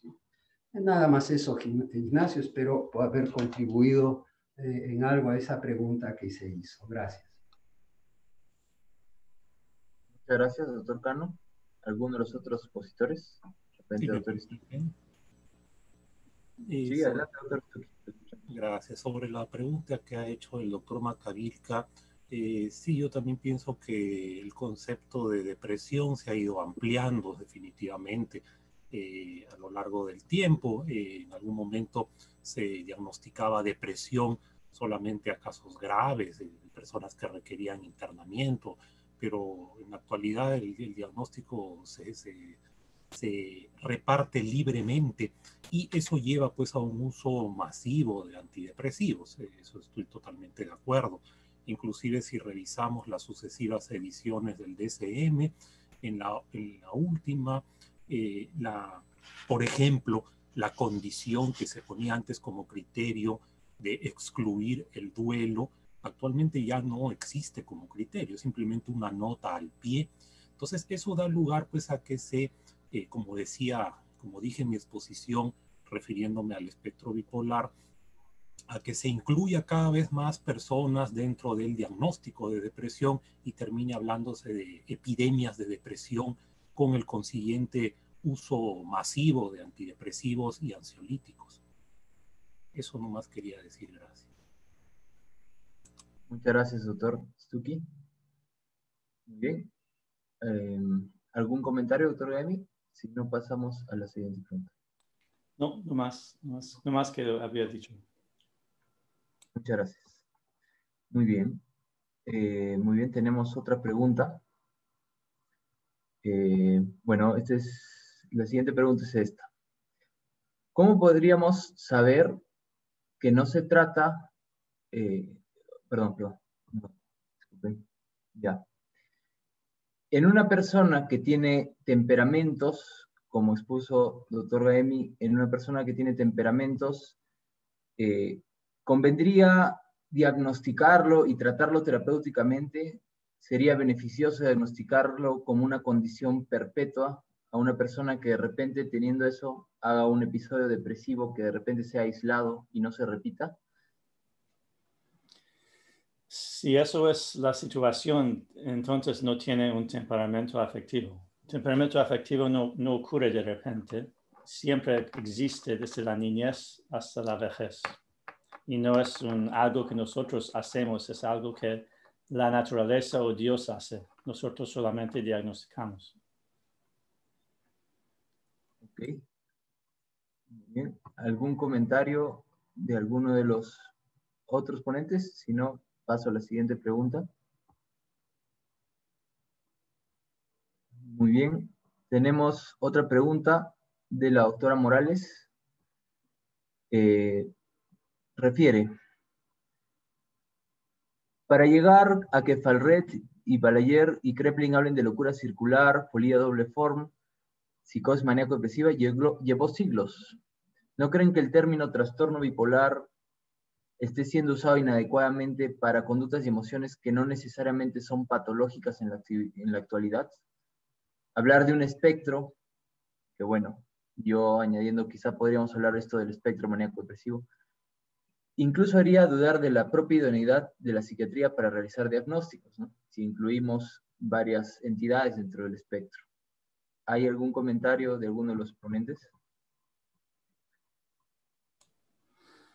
Yo puedo empezar. Um, yo pienso que hay mucha, no hay una razón para tener un miedo de hacer un diagnóstico y decir es patológico o no es patológico el hecho es que todo el mundo tiene estados de ánimo. En pensar que hay una cosa normal que es totalmente diferente de lo anormal, no, no tiene razón y ah, los datos científicos no son así. De hecho, hay un porcentaje de la, de la población que tiene temperamentos afectivos, quizás, quizás 10%, quizás 20%, pero no estamos hablando de 80% o 90%. Ah, hubiera sido muy, bueno si la mayoría de la gente tenían ah, temperamentos afectivos, entonces todo el mundo hubiera sido muy creativo y todo el mundo hubiera sido, sido líderes en todas cosas, pero no son así. Es una minoría, pero no es una minoría del 1% o 2%. Es eso que estamos diciendo. Y la otra cosa es que temperamentos son partes de la personalidad cuando los psicólogos hacen estudios de rasgos de personalidad, personalidad no están haciendo patología, están haciendo una descripción de, los rasgos de la población general. Y es lo mismo aquí, estamos, estamos describiendo rasgos de personalidad que a veces se pueden unirse en un temperamento afectivo. Y eso no es una enfermedad, no es una patología, ni necesariamente requiere tratamiento. Como dije, la mayoría de esos pacientes no llegan a ser tratados, no ven a ningún clínico. Pero lo que he dicho es si vienen, y si, lo, y si tienen temperamentos, se pueden tratarse con dosis muy bajas de estabilizantes, pero en la mayoría de casos no llegan a ser tratados porque en su propio juicio no es necesario. Entonces no estamos, estamos haciendo una ah, patología de esa gente. Muchas gracias. Al el doctor Bernardo Cano creo que quería, o algún otro ponente, el doctor Stucky. ¿Alguien desea comentar? Bueno, Ignacio, solamente añadir brevemente que el trastorno bipolar, como lo conocemos en la clínica, sobre todo en una emergencia psiquiátrica, donde llega un paciente con toda la sintomatología, entonces estamos frente a una crisis maníaca con grave riesgo de suicidio, de autoagresividad o de heteroagresividad, indudablemente ese paciente tiene un diagnóstico eh, que le produce un enorme sufrimiento y un daño social eh, a, él y a su entorno y que amerita una intervención terapéutica. Ahora, ¿en qué medida esto puede ser mm, mucho menos notorio? Ahí viene eh, cómo deslindar, es como una fotografía eh, podemos eh, ver un paciente que está en una hipomanía, en una amplia producción laboral, creativa, que lejos de sufrimiento más bien le es muy beneficioso. Pero no sabemos en qué momento esta persona, esa hipomanía, puede ser una vulnerabilidad, solo falta ponerle los estresores pertinentes para desencadenar una crisis. Entonces, también hay que verlo desde esa perspectiva, tanto en el lado de la manía como la proclividad a la depresión, eh, sobre todo cuando el medio ambiente empieza a trastornarse, a trastocarse y a convertirse en hostil para el sujeto. Y eso puede ocurrir en cualquier momento. De allí que el acompañamiento terapéutico, la psicoterapia en personas que están en un nivel estable, eh, es recomendable para, de alguna manera, las personas tengan mejores formas de defenderse cuando están bajo el peso del estrés para no desencadenar una posible crisis. Esos límites lo determinará la experticia del terapeuta, del médico, de preferencia del médico psiquiatra, ¿no? porque este, estar atentos a cómo va la evolución de esa persona que puede ser muy productiva durante mucho tiempo, en qué momento puede eh, desatar una crisis. Bueno, no sé si eso contribuye a la pregunta, pero ese era mi aporte. Muchas gracias, doctor Campo. Bueno, yo también quisiera comentar algo eh, a la pregunta que ha hecho la doctora Morales, que me parece muy interesante. Eh, yo la respondería en dos partes. En primer lugar, que en principio la idea del espectro no es mala, en, teoría al menos, ¿no? porque definitivamente no podemos plantear límites precisos para los trastornos mentales y en realidad tampoco para las enfermedades físicas, ¿no? Pero quizás en los trastornos mentales esto sea más notorio.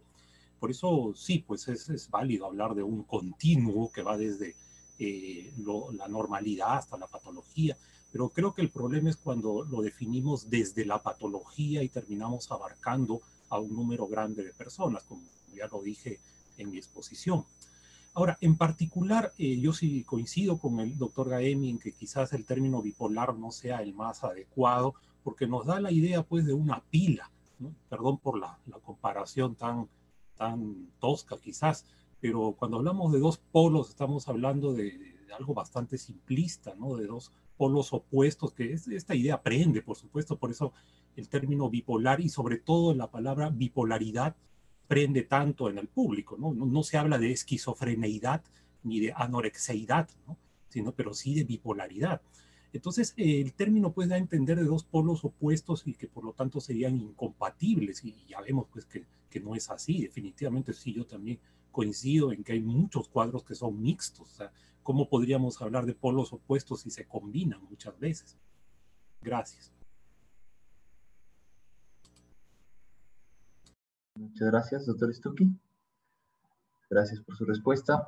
Muy bien.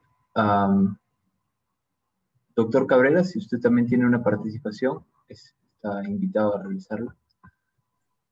Eh, yo también quería participar, eh, más que todo para complementar lo que mencionaba también el doctor Cano, en relación a cómo se presentan las patologías. Eh, básicamente es un continuum. También quería responder la pregunta anterior de qué pasa cuando una persona tiene un temperamento y este se altera. Ahí viene algo muy curioso y una de las definiciones más básicas que nosotros tenemos cuando hablamos de, de enfermedades en psiquiatría. Existe lo que es la normalidad que generalmente es una definición estadística que nosotros usamos, lo que viene a ser la anormalidad, que generalmente es la minoría dentro de esta definición, y lo que viene a ser lo patológico, que esto puede aparecer o desaparecer dependiendo de la condición en la cual se encuentre la persona. Generalmente esa es la parte que nosotros tratamos y esta parte, lo patológico, puede estar eh, concadenado ya sea por estresores externos, o sea, dependiendo de situaciones diversas que las personas puedan vivir, lo cual puede ser proclive o causar una crisis, por ejemplo, o debido a cambios internos en la persona. Por ejemplo, cuando nosotros hablamos de depresión, este está muy relacionado con cambios inflamatorios dentro de la persona, o sea, manifestaciones inflamatorias que van a causar este tipo de sintomatología en algunos casos. Cuando nosotros, por ejemplo, hablamos de lo que viene a ser trastorno bipolar, también como lo explicó el doctor Gaemi, estamos hablando de cambios en lo que viene a ser la economía, en la cantidad de energía que maneja la persona. Puede tener un aumento de lo que viene a ser esta cantidad de energía y tener una manifestación de un cuadro maniforme. O puede tener una disminución abrupta y llegar a lo que es una melancolía. ¿Sí? Más estos cambios eh, de por sí solos también pueden sobreagregarse cambios debido a estresores externos que puede presentar una persona, lo que antes eh, llamaban depresión doble. ¿Sí? Tener un cuadro melancólico sobre, sobreagregado a, por ejemplo, eventos estresores que puede tener y hacer que esta melancolía tenga una combinación con una depresión neurótica, por ejemplo, siendo una sintomatología muy variada. Por ende, lo que va a predominar siempre van a ser los cuadros mixtos, o en su mayoría, que es lo que uno puede esperar, por ejemplo. Cuando hablaban por la parte de los temperamentos, eh, básicamente los temperamentos se van diseñando en cuanto a la, persona por la epistasis que va a tener durante su formación, igual que el carácter, que va desarrollándose por los cambios epigenéticos que va a tener la persona. Y esos van a depender de qué tan bien se adapte a su entorno o no, o si las maladaptaciones van a generar cierto tipo de comportamientos que tal vez no sean adecuados en el entorno donde esta persona se desenvuelve, más no significa que no puedan ser útiles para cierto tipo de entorno o situación que tenga que enfrentar en algún momento. Ello también va a hacer que sea un poco difícil diferenciar qué es patológico y qué no es patológico. Eso va a causar, por ejemplo, que en algunos casos sobremediquen a personas que no deben ser medicadas. Y nos lleva a la, a la pregunta de si debo tratar o no a esa persona pero lo que sí se recuerda, por ejemplo, cuando nosotros abordamos una, un paciente en psiquiatría, es restablecer el orden o tratar de restablecer el orden previo que tenía esta persona, básicamente establecer un soporte. Si nosotros tenemos, por ejemplo, un soporte que viene a ser casi la base de cualquier abordaje psicoterapéutico, generalmente muchas de estas sintomatologías que queremos medicar, por ejemplo, no es necesario medicarlas, porque esa mala adaptación probablemente pueda corregirse. O sea, si se debe tratar de por vida una patología es algo muy cuestionable. Va a depender de qué es lo que yo estoy viendo o qué es lo que yo estoy eh, patologizando. Más que todo, mm, quería participar de esa manera. Gracias, Ignacio. Muchas gracias, doctor Pérez. Muy bien. Entonces, si, hay alguna, si no hay alguna otra participación, pasamos a la última pregunta porque ya estamos sobre la hora. Vamos a resolver una última pregunta de Humberto Maldonado. ¿Qué comentarios tiene la mesa sobre la nosología de los llamados trastornos de ansiedad, eh, del grupo de los trastornos de ansiedad en relación al espectro maníaco-depresivo, o bueno, espectro bipolar para los, los que defienden el, espectro bipolar, ¿no? Eh, ellos también tienen en el centro de su fenomenología a la psicomotricidad, ¿no? ¿Cómo podrían tener relación estos trastornos con el eh, con este, el espectro de maníaco depresivo? Pues um, ansiedad, en mi opinión, es el fiebre de psiquiatría. Como en medicina, fiebre no es un trastorno, pero es un efecto de otra cosa. Es lo mismo con ansiedad. Usualmente no es un trastorno. El hecho, la palabra trastorno no tiene ningún sentido. Es creado por DSM-3 para decir que todas las cosas son lo mismo o no podemos decir cuáles son las cosas. Entonces, el uso de, la palabra trastorno es algo que, no nos ayuda en, entender um, esas cosas mejor. Trastornos de ansiedad no existen. Enfermedades de ansiedad quizás, quizás gente con uh, obsessive compulsive disease son, tienen una enfermedad, pero el trastorno de ansiedad generalizada, por ejemplo, está creado de nada tiene ningún, uh, ningún raíz en datos científicos. Ustedes pueden leer las fuentes que les había dado. Estaba creado por razones puramente sociales y políticas por la, en DSM-3. Um, y también pánico, también no es una enfermedad, es un síntoma que puede ocurrir en diferentes estados de ansiedad la mayoría de estados de ansiedad ocurren con estados de, ánimo, ocurren con depresión o manía, o ocurren en psicosis, o pueden ocurrir por razones médicas, o pueden ser rasgos de personalidad, porque el neuroticismo es un rasgo de personalidad, no es una, un trastorno. Pero el DSM-5, mm, los líderes de DSM-5 no dejaron que cambiaran Ah, la nosología para introducir rasgos de personalidad. Ah, entonces, mi respuesta es que en la mayoría de casos la ansiedad es un efecto de estados de ánimo o de otras enfermedades psiquiátricas o es un rasgo de personalidad. Y en la minoría de casos, sí hay alguna gente que tiene enfermedades obsesivo-compulsivo, pero fuera de eso, Ah, no hay nada más que se puede decir es una enfermedad de ansiedad.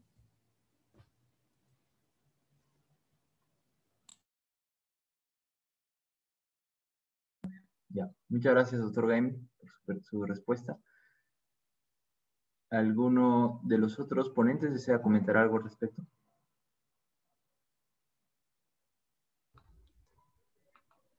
Eh, bueno, solamente agregar que en, medicina, eh, en nuestro campo de la salud, siempre está la posición de reducir a conceptos como el trastorno bipolar, la bipolaridad que hemos estado comentando hace un momento. Muchas veces son atajos de la ciencia para cubrir eh, lo que no se sabe, lo que no se conoce y en psiquiatría hay muchos aspectos que debo reconocer no conocemos, como la etiología de los trastornos. Eh, el no conocer la etiología mm, y que tenga esta característica de multifactorial y poligénico es parte de este, nuestra área, que es la psiquiatría, porque muchos de lo que nosotros vemos no son enfermedades, como bien decía el doctor Gaemi, sino trastornos que denotan una falencia, es decir, algo nos falta conocer, porque en el momento en que conocemos las causas, el factor etiológico en ese momento deja de ser un trastorno psiquiátrico y pasa a ser un trastorno probablemente neurológico. Entonces, eh, con las sintomatologías que se presentan, si hacemos que cada síntoma se convierta en un trastorno, puede ocurrir también de alguna manera esos reduccionismos que lo que hace es facilitar o tomar atajos para entender o pretender entender algo que definitivamente no tiene toda la base para su comprensión. Creo que eso eh, enfrentamos eh, en esto, en este camino por el querer saber. De ahí que viene esto desde una perspectiva epistemológica que nos hace ver la fenomenología del problema, como el doctor Stucky nos los plantea, eh, ir a la parte histórica de cada entidad que se nos viene eh, de acuerdo a nuestros pacientes con la necesidad de conocer, conocer en profundidad. Eh, y, y, esa en profundidad nos lleva a ampliar las cuestiones, las preguntas. Y nos acerca, continuamente nos va acercando, pero cuanto más nos acerca al conocimiento, eh, entramos en controversias, por eso es que la ciencia tiene mucho de estos cuestionamientos, porque de eso se alimenta la ciencia. Bueno, bienvenida sea esa fórmula, porque eso hace que la psiquiatría esté viva y con estos aportes lo que hace es invitar a la investigación, invitar a ver desde varias perspectivas el fenómeno. Bueno, ese es eh, el aporte. Gracias. Muchas gracias, doctor Cano, por su aporte. Muchas gracias. ¿Alguna otra participación de alguno de los ponentes? Eh, a mí me gustaría participar, Ignacio. Adelante, doctor. Eh, bueno, en relación a lo que vienen mencionando, eh, se puede hacer un simil, por ejemplo, cuando hay una persona que tiene, no sé, una temperatura por encima de 38 grados centígrados, generalmente nosotros tomamos eso como una fiebre. ¿sí? Y una fiebre es un síndrome. Y el síndrome tiene múltiples causas. Si nosotros usamos un antipirético, esa fiebre va a desaparecer, pero va a regresar nuevamente. Y yo voy a seguir tratando esa fiebre. Generalmente en psiquiatría es algo que nosotros vemos muy comúnmente. O sea, le ponemos el nombre de depresión o trastorno obsesivo compulsivo. Y básicamente empezamos a dar sintomáticos. Empezamos a tratar un síndrome obsesivo compulsivo abordando solo lo que son obsesiones o lo que es el comportamiento alterado de esta persona. Cuando nos centramos en una depresión, nos enfocamos en el estado de ánimo, de que está triste. Y no vemos por qué está triste o qué lo ha llevado a eso, o si es su contexto o es otra cosa. Y básicamente estamos tratando síndromes como si fueran enfermedades. No los agrupamos. Sabemos una persona y le damos cinco diagnósticos. Ponemos que tiene un trastorno depresivo mayor, tiene un TOC y encima es una persona con TDAH y no abordamos de manera integral ese fenómeno.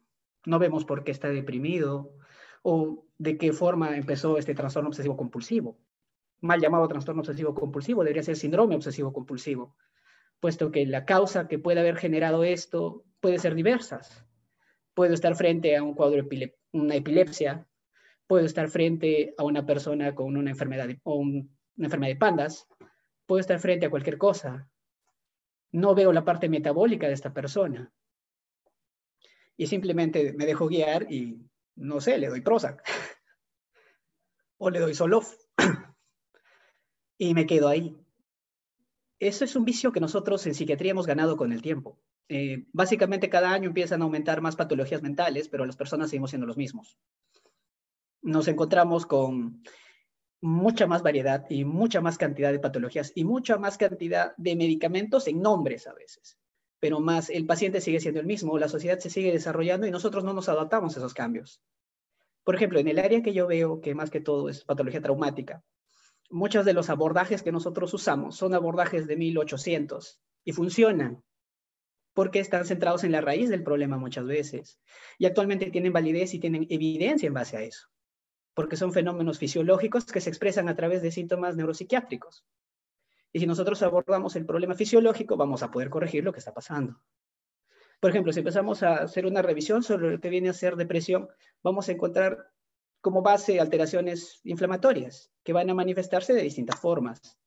Si empezamos a ver, por ejemplo, trastorno bipolar, vamos a encontrar alteraciones en ciclo circadiano. Y nosotros no tratamos el ciclo circadiano. Muchas veces lo dejamos pasar.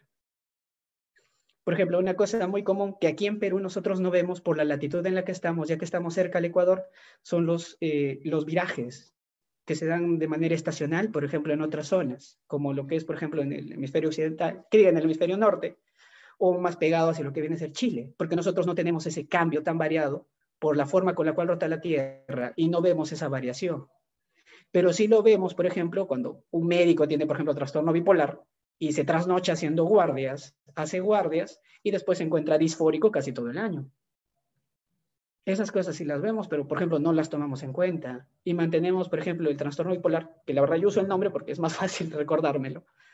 eh, lo tomamos como si fuera una alteración del estado de ánimo y no tiene nada que ver con el estado de ánimo, más sí se manifiesta a través del estado de ánimo, que es lo que normalmente nosotros podemos apreciar. Pero es como si estuviéramos viendo la punta de una montaña y no vemos ni siquiera la base o qué cosas hay alrededor de esa montaña y la dejamos pasar. Es algo muy curioso que nosotros vemos en psiquiatría. Y como uno de mis amigos bien dice, es porque no tenemos órgano. Y si no tenemos órgano, vamos a disparar a lo que podamos. Y es algo muy anecdótico, la verdad. Y eso nos diferencia, por así decirlo, de neurología. Aunque el neurólogo solo tiene una imagen, nosotros lo tenemos vivo y muchas veces no lo aprovechamos. Solo eso. Gracias. Ignacio, si puedo añadir algo muy, muy rápido a doctor Cabrera y también al doctor Cano. Estoy de acuerdo con la mayoría que se ha dicho. Para clarificar, es importante entender que hay dos tipos de fármacos, fármacos sintomáticos y fármacos que afectan la enfermedad, que modifican la enfermedad. La mayoría de nuestros fármacos son sintomáticos. Estoy de acuerdo con eso y pienso que debemos usar, mucho menos que estamos usando. Ah, pero sí hay algunas enfermedades. El DSM tiene 400 trastornos, pero de hecho quizás existen 10 enfermedades en psiquiatría, entre ellos esquizofrenia, eh, la enfermedad maníaco-depresivo, la enfermedad obsesivo-compulsivo, autismo quizás y dos o tres más pueden ser que son, cada uno de esos pueden ser cuatro o cinco enfermedades, es posible, pero son enfermedades. Son, por ejemplo, trastorno maníaco depresivo es casi completamente genético. El medio ambiente tiene, puede afectar su evolución, pero la causa es casi completamente genético. No podemos decir es este gen o otro gen, sí es poligenético, pero es solamente genético. Y desde este punto de vista es, es biológico. Y las genes tienen ah, que ver, por ejemplo, con la sistema circadiana, como ha dicho el doctor Cabrera. Litio tiene muchos efectos en la sistema circadiana, incluyendo el clock gene. Entonces, litio es uno de esos fármacos que tiene una modificación en la enfermedad, en la enfermedad maníaco-depresiva. Y eso se, se, se prueba por la prevención de episodios de depresión y manía en contradistinción a los antipsicóticos y los antidepresivos. Un tercer parte de la gente que recibe litio no tiene ningún otro episodio en toda su vida. Y también en la prevención del suicidio y disminuir la mortalidad que los otros fármacos no hacen. Esos son efectos que solamente se pueden ocurrir cuando uno está modificando la enfermedad. En ese sentido, somos como el resto de medicina cuando estamos tratando la enfermedad maníaco-depresiva con algo como litio. Pero en la mayoría de la, de la tratamiento, en la mayoría de tratamiento, en la mayoría de la práctica, estamos usando muchos fármacos solamente sintomáticamente y muchas veces no hay enfermedades. Es, es cierto, y hay que tener más atención a la persona y a las intervenciones más psicoterapéuticas y aún sociales. Y en este punto de vista soy de acuerdo con, con ah, nuestros colegas hoy también. Gracias. Muchas gracias, doctor Gaby, por su respuesta. Eh, bueno, hace un rato no tenía audio, también gracias, doctor Cabrera. Muy bien. ¿Alguna otra intervención? Si no, para dar concluida la sesión. Eh, aunque si lo permiten, si lo permiten, el público, aunque nos estamos haciendo un poco del tiempo, el público y los ponentes, no sé, eh, alguno de los ponentes, si es, que, lo permite, quisiera hacer una pregunta más respecto a la psicosis, ¿no? Se ha tocado la parte maníaco-depresiva, se sabe que hay en, en, los, en las partes eh, que pueden llegar a ser psicosis, ¿no? Ambas. ¿Cómo eh, ¿Cómo podría ser también para diferenciarse otros fenómenos psicóticos de este espectro? ¿no? O sea, si bien es cierto, podemos diferenciar fenómenos eh, como la ansiedad, como se ha visto, como el TDAH, pero psicosis que ocurren como una psicosis cicloide o, psicosis que ocurren eh, en, situaciones como esquizofrenia, ¿no? que son crónicas, pero que tienen estas presentaciones de agitación psicomotriz, ¿cómo es que se podría separar ese espectro de un espectro psicótico de esa forma. Pues um, desde mi punto de vista, que es semejante a Kraepelin, el, se puede um, describir la enfermedad desde el punto de vista psico, de activación psicomotor en episodios de, de, enfermedad, de depresión o manía o estados mixtos, que son episodios que van y vienen. Se puede existir ansiedad, se puede existir psicosis, se puede existir obsesiones, se puede existir muchas cosas, pero esos son epifenómenos. Esos no son, esas síntomas son opcionales, no son central a la enfermedad. Eso fue la idea de Kreplin. Eso yo pienso que es, uh, los datos científicos mejores que tenemos uh, apoyan esa idea. Uh, es posible que hay dos o tres formas diferentes de la enfermedad o dos, dos, o tres enfermedades diferentes en esta mezcla, que por ejemplo es posible que eh, la enfermedad bipolar con psicosis es algo diferente genéticamente que la enfermedad bipolar sin psicosis. Es posible, pero no sabemos todavía.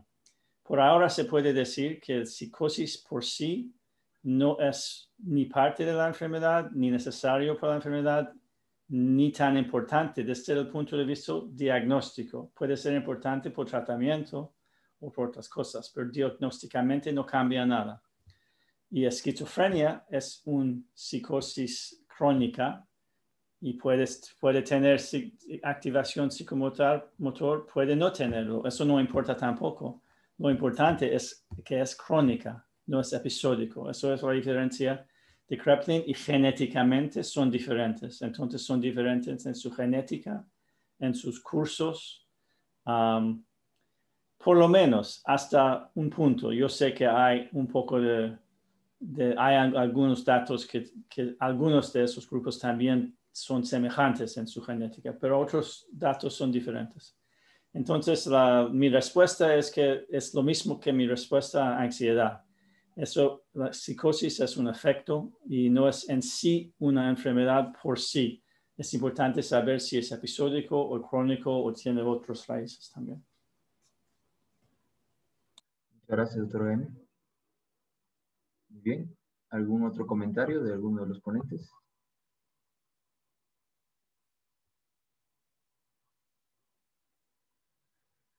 Muy bien.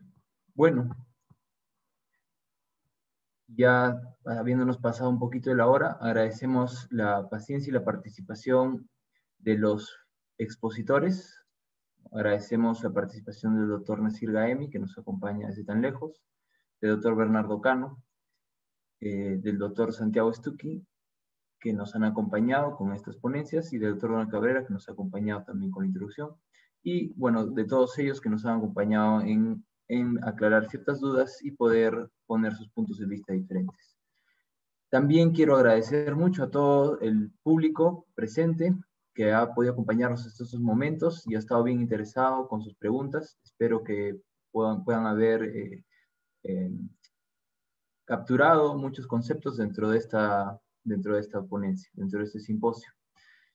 Eh, por último, quiero agradecer también al, comité organizador, a, mis compañeros que me han apoyado, a, Kenny, a Miguel, a Grecia, agradecer a Jeff, que es el eh, que nos ha podido brindar la traducción, agradecer a la doctora Vargas y al Hospital Arcorrera, que también nos ha apoyado, al ingeniero Héctor Aguilar, que nos ha apoyado también eh, con, la, con la plataforma, y, y bueno, a todos en general por estar acá. Muchas gracias a todos, muchas gracias, doctor Remy. Nos vemos en alguna otra ocasión. Este video, esta sesión la vamos a colgar en YouTube, en la página de telecapacitación, si no me equivoco, de, de MINSA, pero de todas maneras lo pueden ver en el grupo del evento. Muchas gracias a todos, que tengan unas buenas noches. Gracias. gracias. gracias. Gracias, doctor Gaemi. Muchas gracias, doctor Gaemi. Doctor Cabrera, gracias, doctor Stucky un honor compartir con ustedes. Muchísimas gracias. Gracias, igualmente. Gracias, Fernando. Gracias, Suki, doctor Cabrera. Muchas gracias, doctor. Muchas gracias a todos. Que tengan buenas noches. Hasta luego.